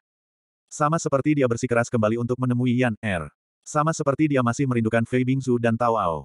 Sama seperti dia selalu merasa bersalah karena membiarkan Bibi Eleven mengantar Mo Xiangtong pergi, dan menyerah pada konferensi Gerbang Dewa musim semi. Yan, Er telah menyatu dengan identitas seorang kultivator jauh sebelum dirinya. Dia membalas kebaikan dengan kebaikan, dan kemudian sepenuhnya melepaskan segalanya untuk mengejar dao para kultivator. Dia pasti tidak akan menyia-nyiakan daunnya karena kebaikan. Dapat dikatakan bahwa dia memisahkan kepentingan publik dan pribadi. Apakah ini yang dia butuhkan? Mo Wuji menggelengkan kepalanya. Ini bukan yang dia butuhkan. Dia memiliki jalannya sendiri, dan daunnya ditempa oleh dirinya sendiri. Baginya, dia harus mengingat apa yang perlu dia ingat. Pada saat ini, seorang pria bertelanjang kaki dengan pedang tanpa sarung di punggungnya mendarat di depan mereka. Pandangan pria bertelanjang kaki ini menyapu seluruh aula. Mo Wuji merasa seolah-olah pakaiannya telah terkoyak oleh pedang tajam, dan seluruh tubuhnya terlihat. Salam, Tetua Su. Setelah lelaki bertelanjang kaki itu muncul, banyak murid di aula membungkuk memberi salam. Lelaki bertelanjang kaki itu menganggukkan kepalanya dan berkata, kali ini, Tetua Pagoda Pil Si Jinwen dan aku akan memimpin kelompok itu ke medan perang bersama para pembudidaya alien. Murid-murid luar dan murid-murid pelayanan di bawah panggung pembangunan roh, silakan tinggalkan aula. Mo Wuji sedikit terkejut. Apa yang sedang terjadi? Awalnya dia ingin mengikuti kelompok itu ke medan perang alien untuk melihat-lihat. Akan lebih baik jika dia bisa melindungi Yan, Er setiap saat. Meskipun tingkat kultivasi Yan, Er lebih tinggi darinya, dia selalu berkultivasi secara tertutup. Dia tidak tahu banyak tentang kelicikan para kultivator di luar. Dia mungkin telah jatuh ke dalam perangkap orang lain tanpa sepengetahuannya. Dia tidak menyangka pemimpin Danau Pedang, Zhu Yuesan, akan mengatakan bahwa murid luar tidak memenuhi syarat untuk pergi ke medan perang. Mo Wuji bereaksi sangat cepat. Ia berkata kepada Ren Tianxing, saudara senior Ren, kita akan bertemu lagi. Dia menduga bahwa Ren Tianxing pasti akan pergi ke medan perang bersama para kultivator asing. Karena dia tidak memenuhi syarat, dia akan pergi ke kota pencari surga untuk melihatnya. Bakat Yan, Er sangat tinggi, dan dia memiliki si Jinwen yang menjaganya. Dia tidak perlu khawatir tentang keselamatannya. Meskipun Mouji tidak menjelaskan apa pun, Ren Tianxing samar-samar mengerti apa yang sedang terjadi. Dia mengeluarkan sebuah kotak kayu dan memberikannya kepada Mo Wuji, saudara magang junior Mo, saya yakin kita akan segera bertemu lagi. Anda tidak perlu khawatir tentang masalah itu. Saya yakin dia juga telah pergi ke medan perang. Barang-barang di dalam kotak ini berguna bagi Anda. Ambillah terlebih dahulu. Baiklah, terima kasih banyak, kakak Ren. Mo Wuji menyimpan kotak itu dan berbalik untuk pergi. Karena ini bukan tempat untuk murid luar seperti dia, tidak perlu baginya untuk terus tinggal di sini. Dia juga mengerti arti kata-kata Ren Tianxing, dia mengatakan kepadanya untuk tidak khawatir tentang Jin Yu. Dengan insiden besar yang terjadi di lima kerajaan besar, Jin Yu pasti pergi ke medan perang. Setelah meninggalkan Aula Sekte, Mo Wuji membuka kotak yang diberikan Ren Tianxing kepadanya. Ia menemukan bahwa itu adalah benda spiritual. Hati Mo Wuji dipenuhi rasa terima kasih. Dia tentu tahu mengapa Ren Tianxing memberinya benda spiritual ini. Meskipun Jin Yu tidak berada di istana pencarian surga, barang ini sangat membantunya. Mo Wuji awalnya ingin kembali ke gua abadinya untuk melihat-lihat. Namun, dia ingat bahwa dia tidak punya banyak hal di gunung sekte luar. Mungkin Chow Buheng bisa dianggap sebagai teman. Sekarang setelah dia menyinggung Jin Yu, jelas bukan saat yang tepat untuk mencari Chow Buheng. Setelah ragu-ragu sejenak, Mo Wuji memutuskan untuk pergi ke kota pencarian surga untuk melihat apakah Zen Shaoke telah tiba. Ketika dia tiba di kota pencari surga sekali lagi, Mo Wuji merasakan kehancuran akibat invasi para pembudidaya asing. Dia telah ke kota pencari surga beberapa kali, tetapi belum pernah seperti ini. Bukan hanya sedikit orang di jalan, bahkan rumah-rumah pedagang pun tampak sepi. Mo Wuji secara khusus datang ke rumah dagang Luo Hai untuk menanyakan tentang rumah pil sembilan bulan. Yang membuat Mo Wuji kecewa adalah dia tidak menerima berita apa pun tentang rumah pil sembilan bulan yang memasuki kota pencari surga. Rumah dagang Luo Hai juga terlibat dalam bisnis pil dan karena rumah dagang Luo Hai tidak menerima berita apa pun mengenai rumah pil sembilan bulan yang memasuki kota pencarian surga, itu berarti rumah pil sembilan bulan belum tiba. Mo Wuji tidak khawatir dengan kenyataan bahwa rumah pil sembilan bulan tidak memasuki kota pencarian surga. Tanah di kota pencari surga sulit diperoleh dan rumah pil sembilan bulan merupakan pendatang baru, jadi wajar jika mereka tidak dapat membeli rumah pedagang di sini. Dia tidak ingin kembali ke istana pencarian surga, dan kota pencarian surga tidak ada hubungannya dengan dia. Tepat saat Mo Wuji sedang mempertimbangkan apakah dia harus pergi ke medan perang sendirian, dia mendengar seseorang memanggil dari belakang, adik magang junior Mo. Suara yang sangat familiar. Mo Wuji menoleh dan melihat wajah yang familiar, Chen Suyin. Dibandingkan beberapa kali terakhir dia melihatnya, wajah Chen Suyin bahkan lebih pucat, dan ekspresinya sangat lesu. Meski begitu, sulit untuk menyembunyikan penampilannya yang menakjubkan. Tidak bagus, kondisi Chen Suyin pasti disebabkan oleh kultivasi tujuh gaya langit petir. Pikiran pertama Mo Wuji adalah segera pergi. 187. Tanpa menunggu Mo Wuji pergi, Chen Suyin berdiri di depannya, adik seperguruan Mo, mengapa aku tidak melihatmu akhir-akhir ini? Mo Wuji tertawa canggung, kakak magang senior Chen, apakah kamu tidak melihatku sekarang? Sebenarnya, saya sudah berkeliling di daerah itu. Benar-benar. Mengapa aku mendengar bahwa kau baru saja kembali ke sekte? Jika bukan karena kedatanganku yang cepat, kita akan saling merindukan lagi, kata Chen Suyin dengan sedikit sarkasme. Kalau Mo Wuji masih tidak tahu kalau Chen Suyin mengejarnya dari sekte sampai ke kota pencari surga, maka dia pastilah orang bodoh, kakak seperguruan Chen, teknik kultivasi tipe petir milikku memang agak aneh. Ketika aku memberikannya kepadamu, aku juga memberitahumu bahwa mengolah teknik itu bisa saja berujung pada kematian. Kakak magang senior Chen mengalami masalah dengan kultivasimu, dan kamu ingin mencari masalah denganku, aku tidak bisa berbuat apa-apa. Mo mengangkat bahu, itu salahku, apa yang bisa kau lakukan? Chen Suyin berkata dengan dingin, Oh, bagaimana kamu tahu kalau ada masalah dengan kultivasiku, dan aku ingin mencari masalah denganmu? Mungkinkah Anda tahu bahwa ada masalah dengan teknik itu sendiri? Mo Wuji berpikir dalam hati, wajahmu pucat, kamu jelas-jelas mengembangkan tipe S, tetapi ada semacam api yang membakar di tubuhmu. Kalau aku tidak tahu kalau kultivasimu ada yang salah dan kamu mau cari masalah denganku, maka aku tidak akan bisa bertahan hidup. Meskipun begitulah yang ada dalam pikirannya, Mo Wuji tetap berkata dengan serius, kakak senior Chen, aku sudah pernah mengatakan kepadamu bahwa teknik itu belum sempurna, dan jika kamu mengolahnya, itu akan membahayakan nyawamu. Kamu sendiri yang memaksakannya. Chen Suyin menarik napas dalam-dalam, berusaha sekuat tenaga menenangkan diri, aku hanya punya satu pertanyaan untukmu sekarang, apakah kamu berhasil mengolahnya? Mo Wuji menjawab dengan jujur, saya berhasil mengolahnya, tetapi ketika saya menemui masalah, saya harus memodifikasi beberapa jalur sirkulasi. Ini tidak bisa dibohongi. Dia telah tinggal di ruang tempering petir selama satu atau dua hari, dan dia bukan orang bodoh, bagaimana mungkin dia tidak tahu bahwa dia telah berhasil mengolahnya. Kau memodifikasi jalur sirkulasi. Chen Suyin menatap Mo Wuji dengan mata terbuka lebar. Wanita ini benar-benar cantik. Melihat mata Chen Suyin yang membelalak, Mouji tidak dapat menahan diri untuk memujinya dalam hati. Yang tidak diketahui Chen Suyin adalah bahwa pikiran Mouji sama sekali berbeda dari pikirannya. Seorang kultivator tahap pembukaan saluran berani mengubah teknik sirkulasinya sendiri. Apakah dia sudah bosan hidup? Bagaimana caramu memperbaikinya? Tanya Chen Suyin tiba-tiba. Mouji tidak menjawab. Ini adalah rahasianya, dan Chen Suyin meminta terlalu banyak. Coba saja. Melihat Mo Wuji tidak mau menjawab pertanyaannya, Chen Suyin menambahkan. Mo Wuji terkekeh, kakak senior Chen, jurus pertama dari tujuh jurus petir langit adalah jurus penyelamat hidupku.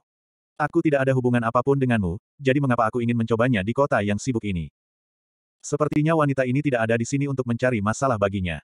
Selama dia tidak ada di sini untuk mencari masalah baginya, tidak apa-apa. Mendengar perkataan Mo Wuji, Chen Suyin pun tersadar. Mo Wuji tampaknya sama sekali tidak ada hubungannya dengan dia. Memikirkan motivasinya, menunggu jurus petir ini selama 8 hingga 9 bulan di Istana Pencari Surga, Chen Suyin tidak peduli lagi dengan hal lain. Wajahnya menjadi gelap saat dia berkata, Adik magang junior Mo, jika kamu tidak mencoba, bagaimana aku bisa tahu apakah tujuh gaya petir langit milikmu itu nyata? Aku yakin kau tahu itu nyata. Sayang sekali, itu hanya keterampilan yang belum sempurna. Mo Wuji melihat Chen Suyin mengganggunya, dan tahu bahwa masalah hari ini tidak akan berakhir dengan baik. Dari segi kekuatan, dia masih kurang dibandingkan dengan Chen Suyin. Ku dengar kau awalnya ingin mengikuti kakak senior Ren ke medan perang, tetapi karena para tetua tidak berniat membawa murid luar mana pun, kau tidak punya kesempatan, kan? Chen Suyin tiba-tiba tidak melanjutkan pertanyaan tentang langit petir tujuh gaya, dan mengganti topik pembicaraan. Jadi bagaimana kalau aku melakukannya? Mo Wuji menjawab dengan tenang. Tahap pembentukan jiwanya tidak tinggi atau rendah, dan di awalnya bermaksud pergi ke medan perang untuk berlatih. Setelah datang ke sini, Mo Wuji sangat jelas bahwa sulit untuk menjadi ahli tingkat atas hanya dengan berkultivasi secara tertutup. Aku mempunyai perlengkapan spiritual terbang berskala kecil, dan jika kau dapat mengajariku jurus pertama dari tujuh jurus petir langit, aku bersedia menghadiahkan perlengkapan spiritual terbang berskala kecil ini kepadamu. Selama Anda memiliki peralatan spiritual terbang, Anda tidak memerlukan sekte untuk membawa Anda ke medan perang. Chen Suyin menarik napas dalam-dalam, dan menatap Mo Wuji saat dia mengatakan ini. Dia tidak percaya bahwa Mo Wuji tidak akan tergoda bahkan jika dia mengeluarkan peralatan spiritual terbang. Apa? Mo Wuji langsung bersemangat. Peralatan spiritual terbang, ini adalah sesuatu yang ia impikan. Sayangnya, sebagian besar peralatan spiritual transportasi udara tidak dapat dibeli dengan batu roh. Bahkan jika dapat dibeli dengan batu roh, perlengkapan spiritual terbang dengan kualitas terendah akan berharga setidaknya beberapa juta batu roh tingkat bumi. Meskipun Mouji memiliki beberapa ratus ribu batu roh tingkat bumi, dia benar-benar tidak mampu membeli peralatan spiritual terbang. Apakah kamu serius? Mouji bertanya lagi. Chen Suyin menjawab dengan tegas, kata-kataku lebih benar dari emas asli. Kesepakatan. Mo Wuji tanpa sadar mengulurkan tangannya untuk menjabat tangan Chen Suyin, tetapi ketika dia melihat tangan Chen Suyin tidak bergerak, dia tahu bahwa dia telah lupa di mana dia berada. Melihat Mo Wuji menarik tangannya dengan canggung, Chen Suyin akhirnya menemukan keseimbangan. Ayo pergi, kita akan kembali ke menara pelatihan abadi sekte sekarang. Sambil berbicara, Chen Suyin mengeluarkan perlengkapan spiritual terbangnya, yaitu harta karun ajaib mobil terbang. Harta karun ajaib mobil terbang ini sungguh luar biasa indahnya, dan terlihat sangat menawan. Naiklah ke mobil. Chen Suyin melangkah masuk ke mobil terbangnya terlebih dahulu, dan memanggil Mo Wuji. Saat Mo Wuji menaiki mobil terbang, dia bisa mencium aroma samar. Mobil terbang ini didekorasi seperti kamar tidur oleh Chen Suyin, yang membuat Mo Wuji merasa sedikit canggung. Jika dia membantu Chen Suyin berhasil menguasai gaya pertama tujuh gaya langit petir, akankah dia memberinya mobil terbang ini? Tampaknya ini adalah harta karun ajaib terbang milik seorang wanita. Chen Suyin tidak mengatakan sepatah kata pun, dan Mo Wuji merasa seolah-olah dia menipu wanita muda ini untuk harta sihir terbangnya. Dia terbatuk dan berkata, ku dengar kapal terbang alien itu bisa melintasi angkasa, tapi aku ingin tahu kelas berapa itu. Dikabarkan bahwa hanya emas bunga matahari surgawi yang dapat digunakan untuk menempa harta karun ajaib terbang yang dapat melintasi ruang angkasa. Kalau begitu, setidaknya itu adalah perlengkapan spiritual tingkat atas. Chen Suyin tidak mengabaikan Mo Wuji. Mo Wuji sudah tahu bahwa Chen Suyin berpengetahuan luas, tetapi dia tidak menyangka Chen Suyin tahu tentang bahan yang digunakan untuk membuat kapal terbang alien. Dia bertanya dengan penuh harap, bolehkah aku bertanya kepada kakak magang senior Chen, apakah kamu tahu di mana sesuatu seperti bunga matahari surgawi emas biasanya tumbuh? Chen Suyin menatap Mo Wuji dengan samar, lalu menjawab dengan tenang, menurut apa yang ku ketahui, tidak ada harta karun seperti emas bunga matahari surgawi di benua hilang. Ini adalah harta karun dari luar angkasa, dan sangat berharga. Jadi, jangan terlalu memikirkannya. Seperti apa rupa Celestial Sunflower Gold? Mo Wuji benar-benar tertarik pada harta karun ajaib terbang itu, tetapi dia tidak memiliki kesempatan sekarang. Apakah dia akan kembali ke bumi di masa depan, siapa yang bisa memastikannya? Tidak ada salahnya untuk memahaminya terlebih dahulu. Bunga matahari emas surgawi yang asli, bentuk lengkapnya seperti bunga matahari. Warnanya hitam pekat, keras, dan dingin. Sebelum Chen Suyin selesai berbicara, Mo Wuji benar-benar tercengang. Bukankah bunga matahari adalah bunga matahari? Warnanya benar-benar hitam, keras, dan dingin. Bukankah itu logam hitam besar berbentuk bunga matahari di tas penyimpanannya? Mungkinkah dia secara tidak sengaja memperoleh sepotong besar emas bunga matahari surgawi? Semakin Mo Wuji memikirkannya, semakin ia merasa bahwa hal itu mungkin. Mengenai perkataan Chen Suyin bahwa benua yang hilang tidak memiliki emas bunga matahari surgawi, Mo Wuji langsung mengabaikan perkataannya. Seberapa besar benua hilang itu? Tidak perlu membicarakan benua hilang, bahkan reruntuhan langit hilang bukanlah tempat yang bisa ditelusuri oleh orang biasa. Tidak peduli seberapa luas pengetahuan guru Chen Suyin, dia tidak dapat yakin bahwa benua yang hilang tidak memiliki emas bunga matahari surgawi.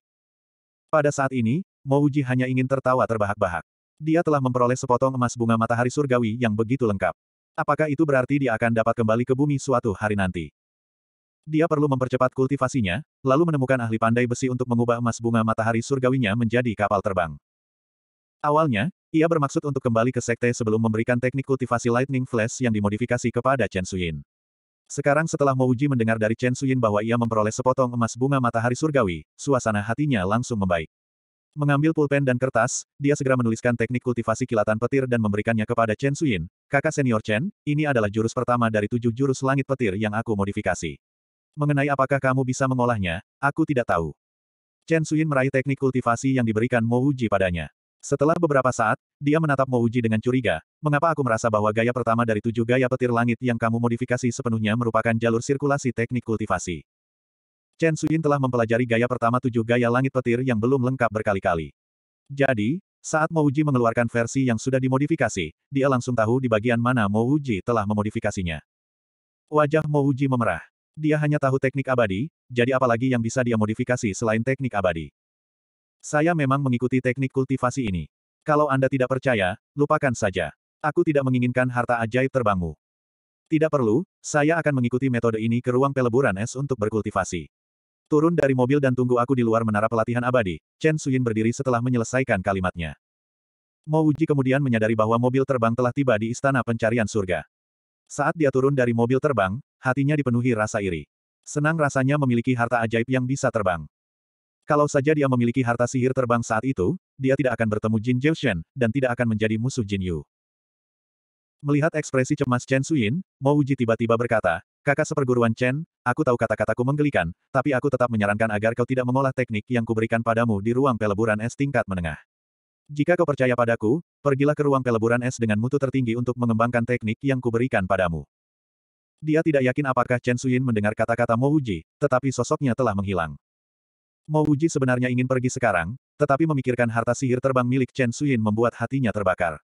Harta karun ajaib terbang terlalu penting baginya. Sekarang dia sudah berada di tahap membangun roh level 4, dan memiliki sejumlah besar batu roh di tubuhnya, dia mungkin juga harus pergi ke menara pelatihan abadi untuk berkultivasi. Dia akan berkultivasi sambil menunggu Chen Suyin. Bagaimana jika Chen Suyin berhasil? 188. Kali ini, Mo Wuji tidak memilih ruang penempaan petir, melainkan ruang pengembangan energi spiritual terbaik.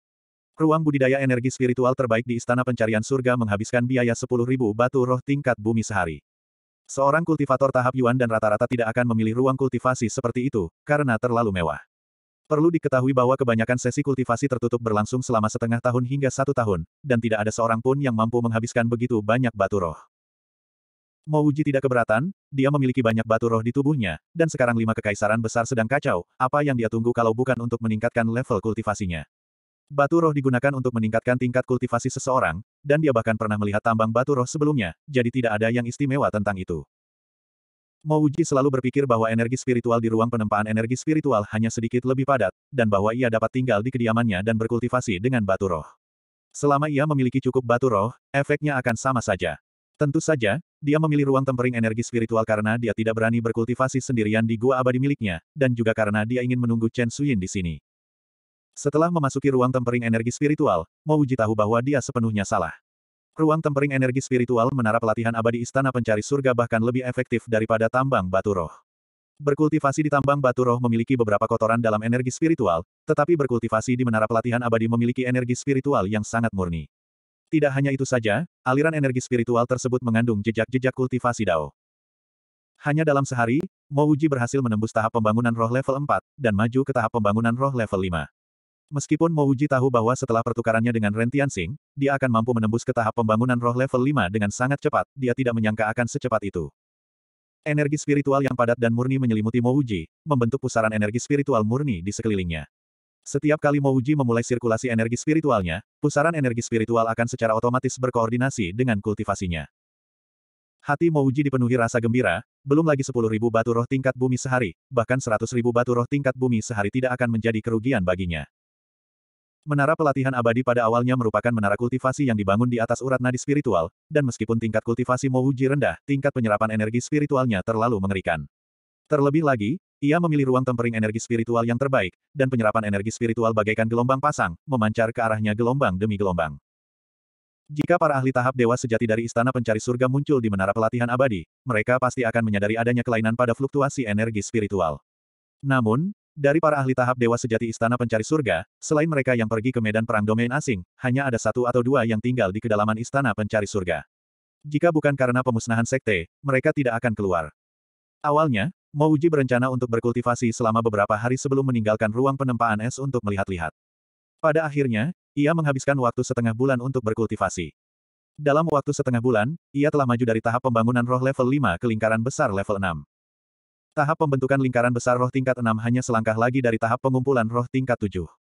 Langkah ini, bagi Mouji, terasa seperti selamanya.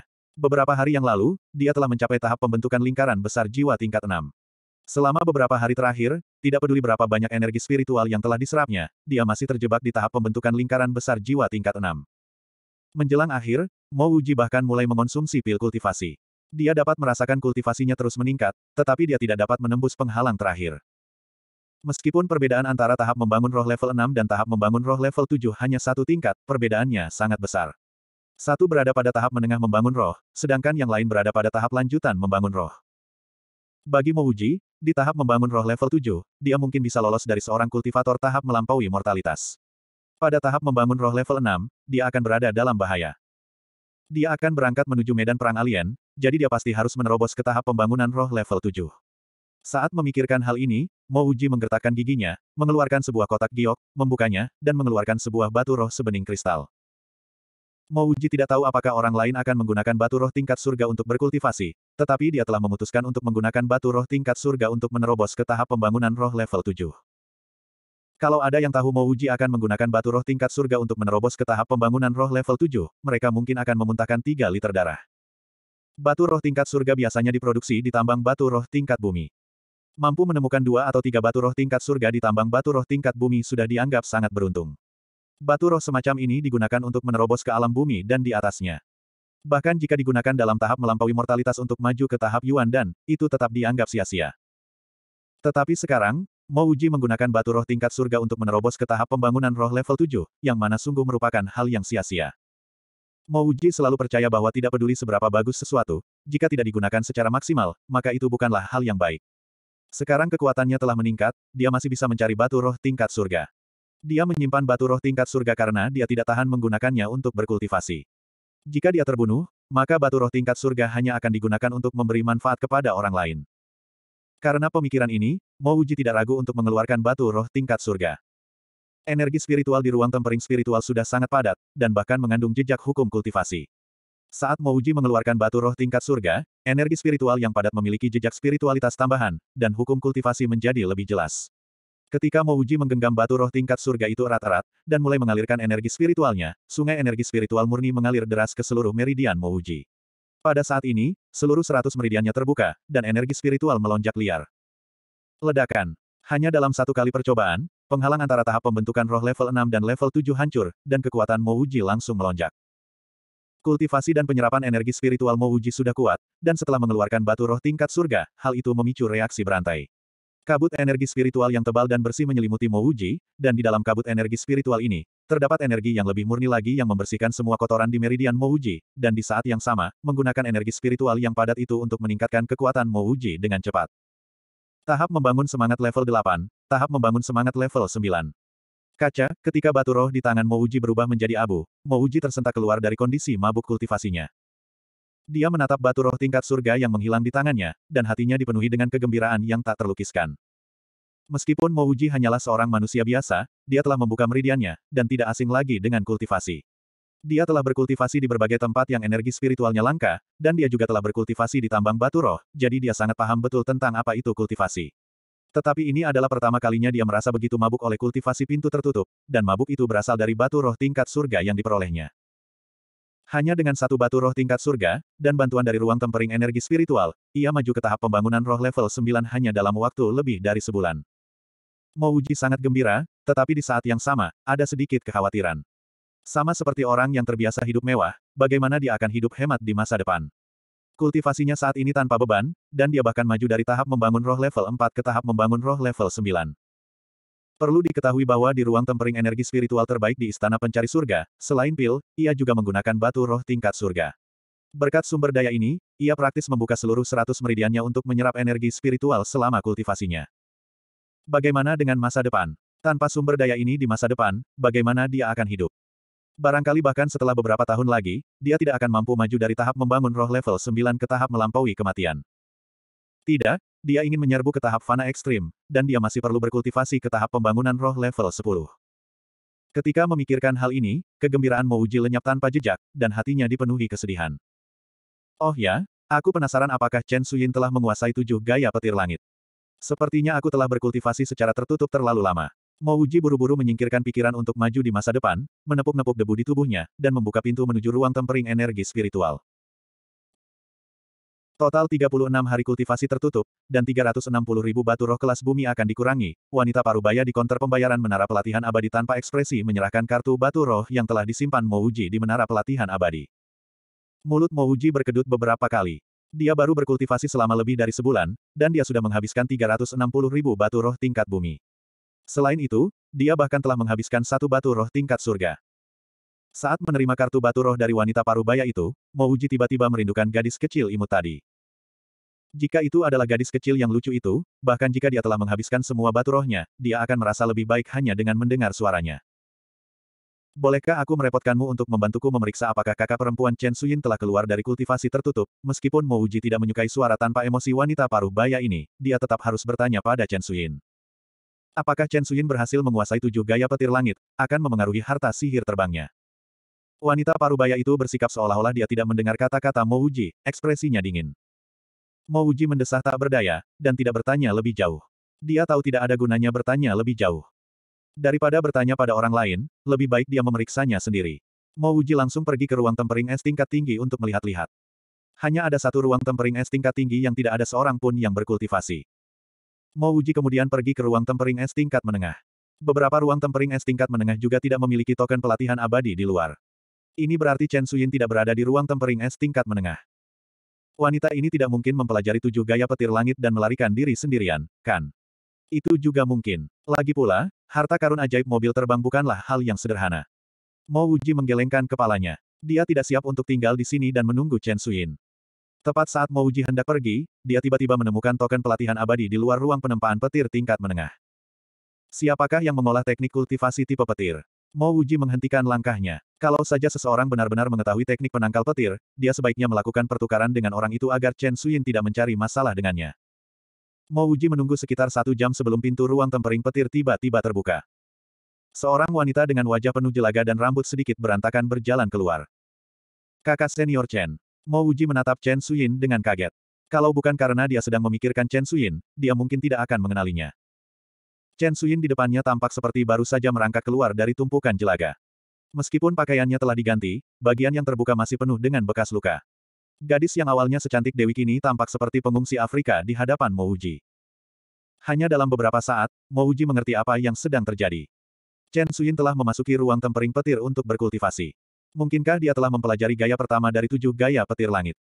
Saat memikirkan hal ini, hati Mo Wuji dipenuhi dengan antisipasi. Begitu Chen Suyin mempelajari kilatan petir yang diberikannya, bukankah itu berarti dia akan bisa mendapatkan harta sihir terbangnya?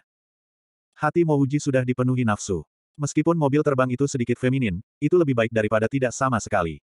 Setelah ia mendapatkan mobil terbang, ia akan mengatur ulang tata letak interiornya. 189. Ah, adik seperguruan Mo, Chen Suyin melihat Mo Wuji berdiri di pintu, dan ekspresinya berubah canggung. Mo Wuji terkekeh, dan mengepalkan tangannya, selamat, kakak senior Chen. Aku yakin kakak senior Chen sudah mempelajari kilatan petir. Chen Suyin bahkan lebih malu, dia memang telah mempelajari kilatan petir. Adapun mengapa dia tidak mencari Mo Wuji, itu bukan karena Mo Wuji berada di balik pintu tertutup, juga bukan karena dia tidak mau berpisah dengan harta sihir terbangnya. Itu karena dia terlalu terobsesi dengan budidaya Lightning Flash. Pada hari pertama dia mempelajari Lightning Flash, dia pergi ke ruang tempering petir tingkat dasar. Seperti yang dikatakan Mo Wuji, Lightning Flash bukan hanya keterampilan ofensif tipe petir, ia juga dapat menyerap petir untuk memperkuat dirinya. Dalam waktu setengah bulan, dia mengubah ruang tempering petir tingkat dasar menjadi ruang tempering petir tingkat menengah. Terlebih lagi, tingkat kultivasinya lebih tinggi dari Mo Wuji, dan dia memiliki akar spiritual yang dingin. Meskipun dia tidak terbiasa dengan ruang penempaan petir tingkat menengah, dia masih mampu bertahan. Selama kurun waktu ini, dia begitu fokus pada kultivasinya sehingga dia hampir lupa nama belakangnya, dan tentu saja lupa tentang kesepakatannya dengan Mouji. Sekarang dia melihat Mouji menunggunya di pintu, dia mengira Mouji tahu dia ada di sini, dan secara khusus datang untuk meminta harta sihir terbangnya. Chen Suyin buru-buru mengeluarkan mobil terbangnya. Meskipun dia sedikit enggan, dia tetap memberikannya kepada Mouji, saudara magang junior Mo, ini adalah peralatan spiritual yang bagus. Aku mampu menyempurnakan peralatan spiritual ini dengan bantuan guruku. Jika kau tidak dapat menggunakannya sekarang, kau dapat menunggu hingga kau mencapai tahap Yuan dan. Saat mengucapkan kata-kata itu, Chen Suyin tanpa sadar berhenti, dan tanpa sadar menarik kembali tangannya. Bakat Mouji jelas rendah, bisakah dia naik ke tahap Yuan dan dalam kehidupan ini? Seorang kultivator yang tidak bisa maju ke tahap Yuan dan, memegang harta sihir terbang, ini. Sungguh sia-sia. Kenyataannya, Mouji tahu apa itu harta sihir terbang bahkan tanpa penjelasan Chen Suyin. Kembali saat dia berada di kapal terbang bersama Ren Tianxing, dia melihat Ren Tianxing mengaktifkan harta sihir terbangnya. Sebulan yang lalu, dia juga melihat Chen Suyin mengaktifkan harta sihir terbangnya. Meskipun mobil terbang di tangan Chen Suyin tampak kecil dan indah, setelah diaktifkan, ia akan setara dengan Lincoln. Tetapi sekarang Chen Suyin telah menyimpan harta sihir terbangnya, Mo Wuji tidak dapat mengambilnya darinya. Oh ya, saya masih harus berterima kasih kepada saudara magang junior Mo. Kalau bukan karena kau yang mengingatkanku untuk mengolah tujuh gaya petir langit di ruang penempaan es tingkat tinggi, aku mungkin sudah mati. Aku sungguh mengagumi adik seperguruanmu karena mampu menciptakan ilmu sihir jenis petir yang begitu dahsyat, sungguh menakjubkan. Chen Suyin mengingat kembali bahaya yang dihadapinya ketika pertama kali mempelajari tujuh gaya petir langit, dan merasa semakin takut. Jika Mouji mengatakan itu sedikit berbahaya, lalu bagaimana mungkin itu bisa sedikit berbahaya? Bahkan di ruang penempaan es tingkat tinggi, organ-organ dalamnya hampir terbakar habis karena panas yang mengerikan. Dia benar-benar kagum pada bagaimana Mouji berhasil berkultivasi dengan sukses, dan bahkan menciptakan metode kultivasinya sendiri. Kita harus tahu bahwa dia baru saja menerobos dari Transcending Mortality Stage 7 ke Transcending Mortality Stage 8 belum lama ini. Dia hanya selangkah lagi dari Transcending Mortality Stage 9. Tingkat kultivasi Mouji jelas sangat rendah, dan dari fakta bahwa dia tidak memiliki riak spiritual apa pun di sekitarnya, dia menduga bahwa Mouji bahkan belum membangun jiwanya. Akan tetapi, dia bukan saja menciptakan gaya pertama tujuh gaya langit petir, dia juga orang pertama yang berhasil membudidayakannya. Hanya berdasarkan poin ini saja, tidak peduli seberapa buruk bakat Mouji, dia akan meninggalkan jejak yang dalam-dalam sejarah kultivasi. Mouji melambaikan tangannya, tidak apa-apa, aku hanya beruntung saat itu. Saat mengucapkan hal ini, Mouji berpikir dalam hati, aku sungguh tidak datang ke sini agar kamu memujiku ah. Dia menatap mobil terbang di tangan Chen Suyin, dan berpikir dalam hati, bisakah kau serahkan saja harta karun ajaib mobil terbang itu kepadaku? Melihat mobil terbang di tangannya, Chen Suyin tampaknya memahami maksud Mo Wuji. Dia berkata dengan nada meminta maaf, adik magang junior Mo, aku juga ingin melakukan perjalanan ke medan perang. Jika tidak, aku.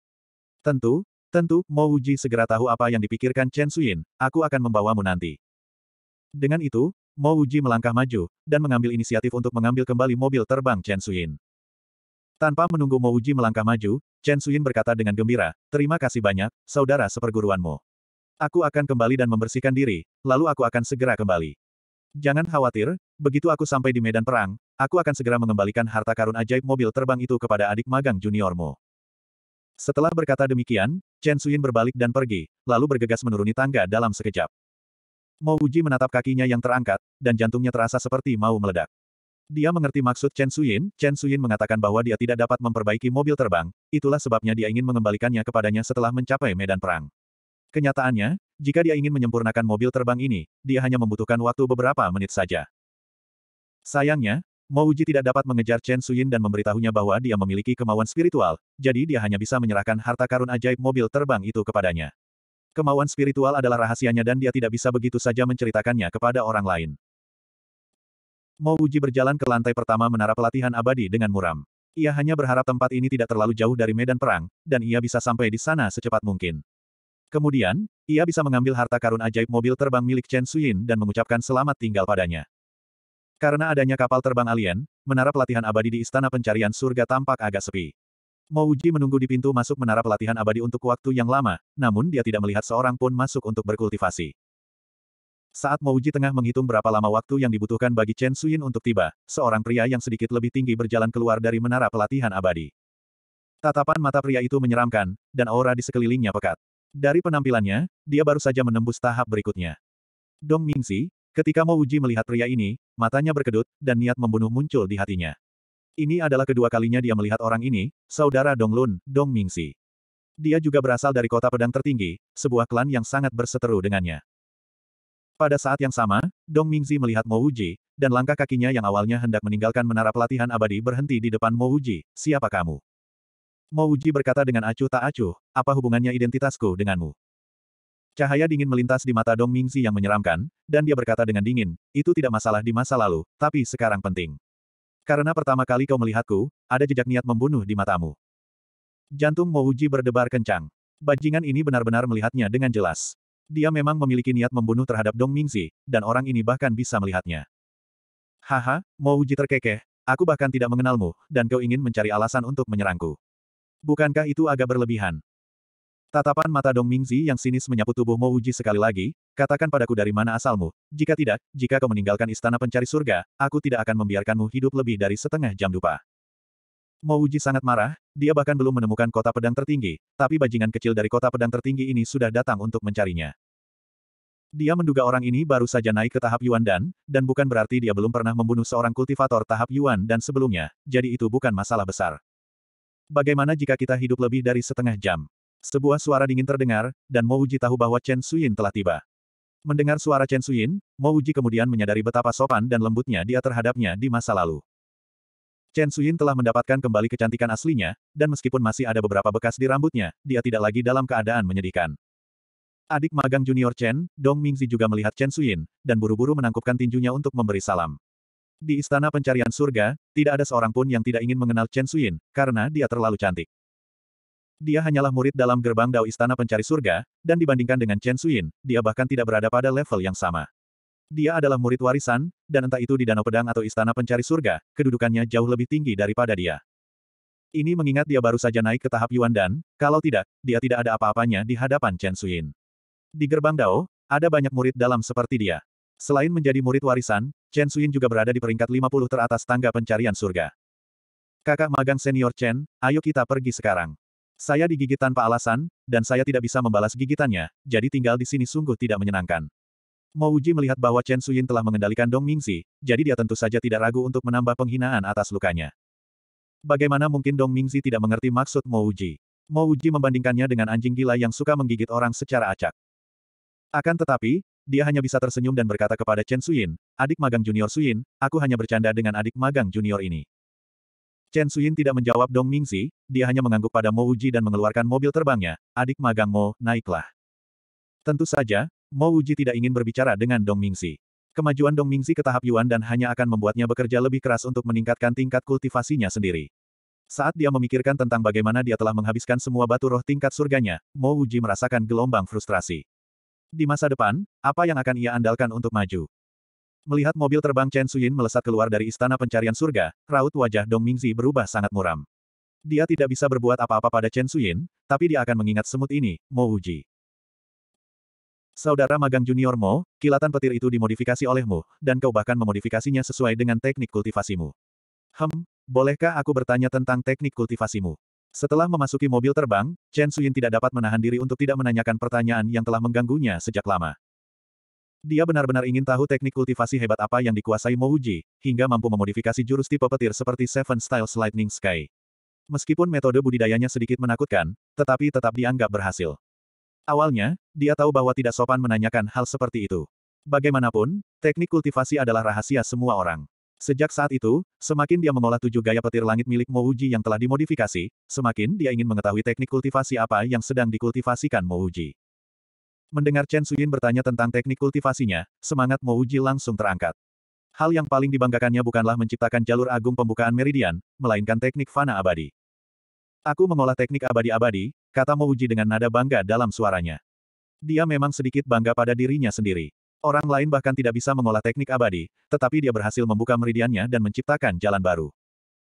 Ah, mata Chen Suyin membelalak saat dia menatap Mo Wuji, dan setelah beberapa saat, dia mengulangi, teknik fana abadi. 190. Benar sekali, itu adalah teknik kematian abadi. Mo Wuji berkata dengan percaya diri. Teknik ini dapat ditemukan di mana-mana di jalan, jadi dia tidak perlu menyembunyikan apa pun. Setelah sekian lama, Chen Suyin bertanya dengan ragu, saudara seperguruan Mo, apakah itu dasar-dasar kultivasi Qi? Mo Wuji berkata dengan canggung, kau bisa mengatakannya seperti itu. Namun, teknik ini memiliki nama lain, teknik abadi. Chen Suyin memutar matanya ke arah Mo Wuji tanpa berkata apa-apa. Apa maksudmu dengan itu? Teknik kematian abadi merupakan dasar dalam kultivasi Qi. Alasan mengapa teknik ini disebut teknik abadi adalah agar dapat dijual dengan harga yang lebih tinggi. Itulah nama teknik ini di zaman kuno. Pada saat ini, dia semakin yakin bahwa Mo Wuji hanya berada di tahap pembukaan saluran. Hal ini dikarenakan teknik kematian abadi merupakan dasar dari kultivasi Qi, dan tidak ada cara untuk membangun dinding energi spiritual. Tentu saja, Mo Wuji tidak tahu apa yang dipikirkan Chen Suyin. Dia tidak memiliki guru, dan dia hanya tahu satu hal tentang tahap pembentukan jiwa, yaitu bahwa setelah dia membuka 100 meridian, dia secara alami akan menerobos ke tahap pembukaan saluran level 12, dan kemudian berhasil membangun jiwanya. Ketika ia mencapai alam pembentukan roh, ia tidak mengejar dinding ki spiritual apa pun. Yang ia bentuk adalah gelombang ki spiritual, satu gelombang demi gelombang. Setelah tahap membangun roh, dia terus mengikuti jalur sirkulasi teknik fana abadi, sampai ke tahap membangun roh level 9. Sampai saat ini, ia belum menemui kendala dalam kultivasinya.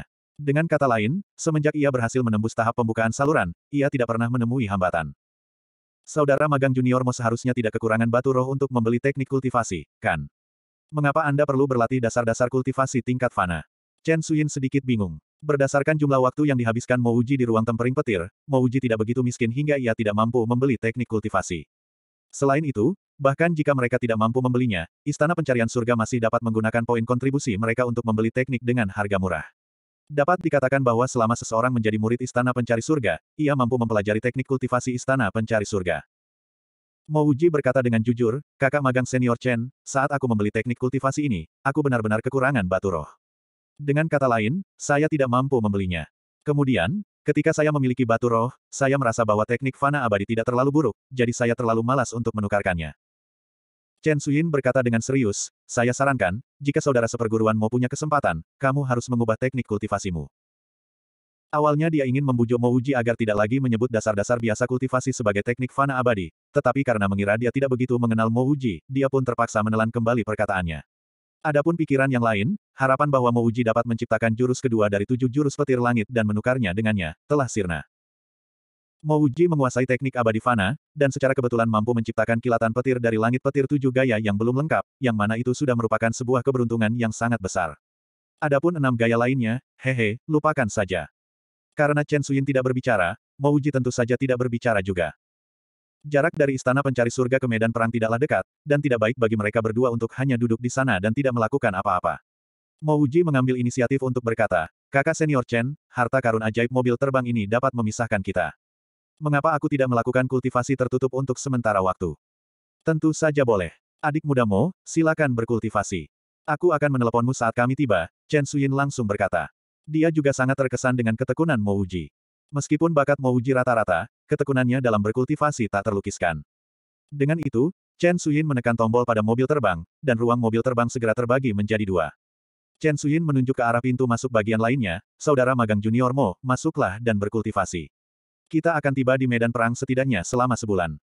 Terima kasih banyak. Mo Wuji mengucapkan terima kasih padanya.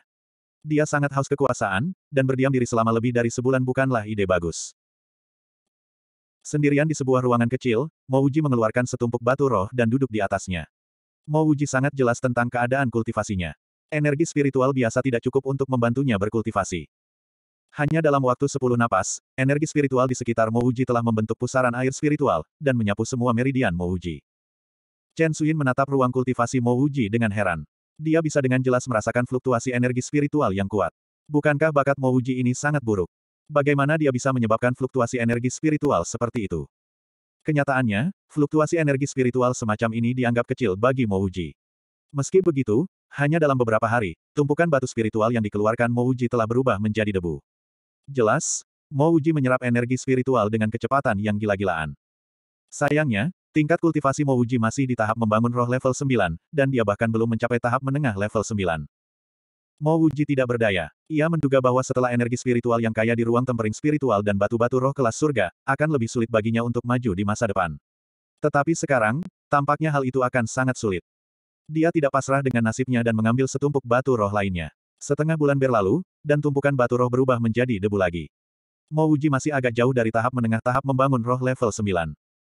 Mo Wuji yang sedikit kecewa tidak melanjutkan kultivasinya.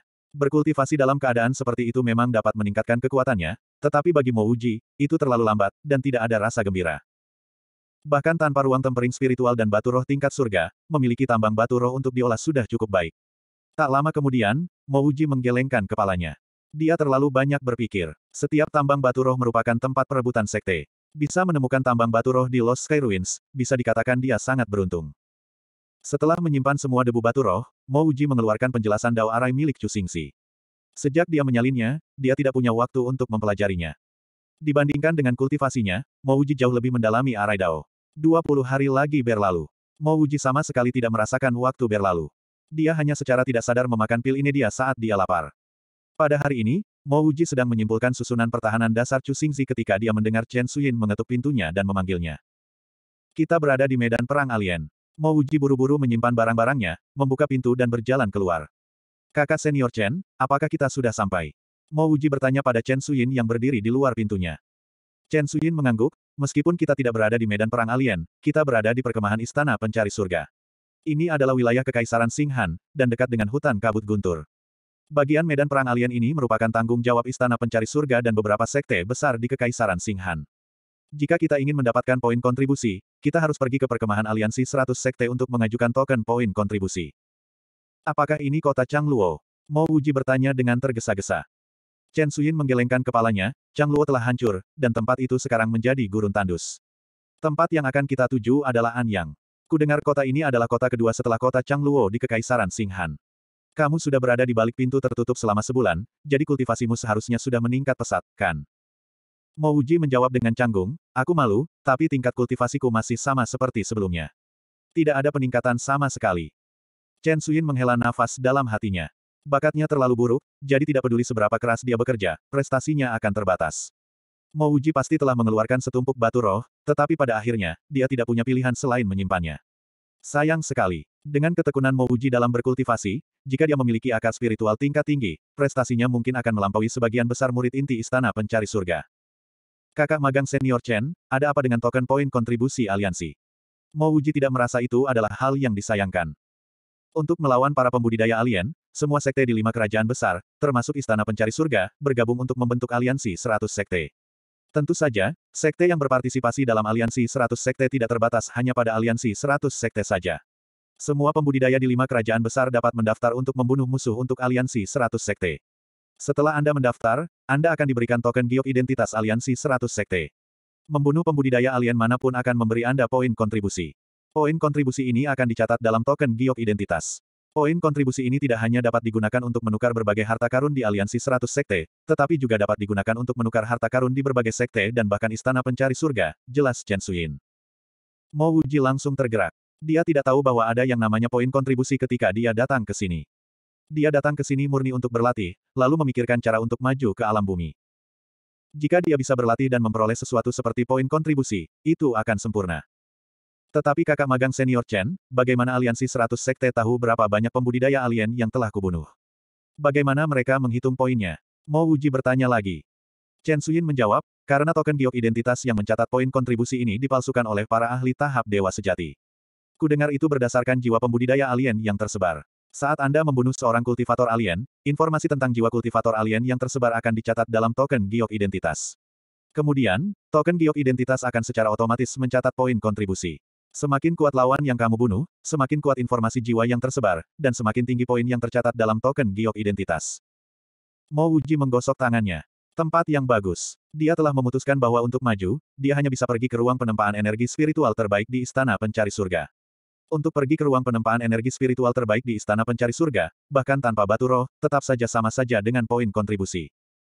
Melihat ekspresi Mo Wuji yang bersemangat, Chen Suyin hampir tidak dapat menahan keinginannya untuk tertawa. Membunuh pembudidaya alien dan mendapatkan poin kontribusi apakah semudah itu? Jika sesederhana itu, maka lima kekaisaran besar tidak akan dipaksa melakukan hal seperti itu. Mobil terbang itu mendarat di luar kota Anyang.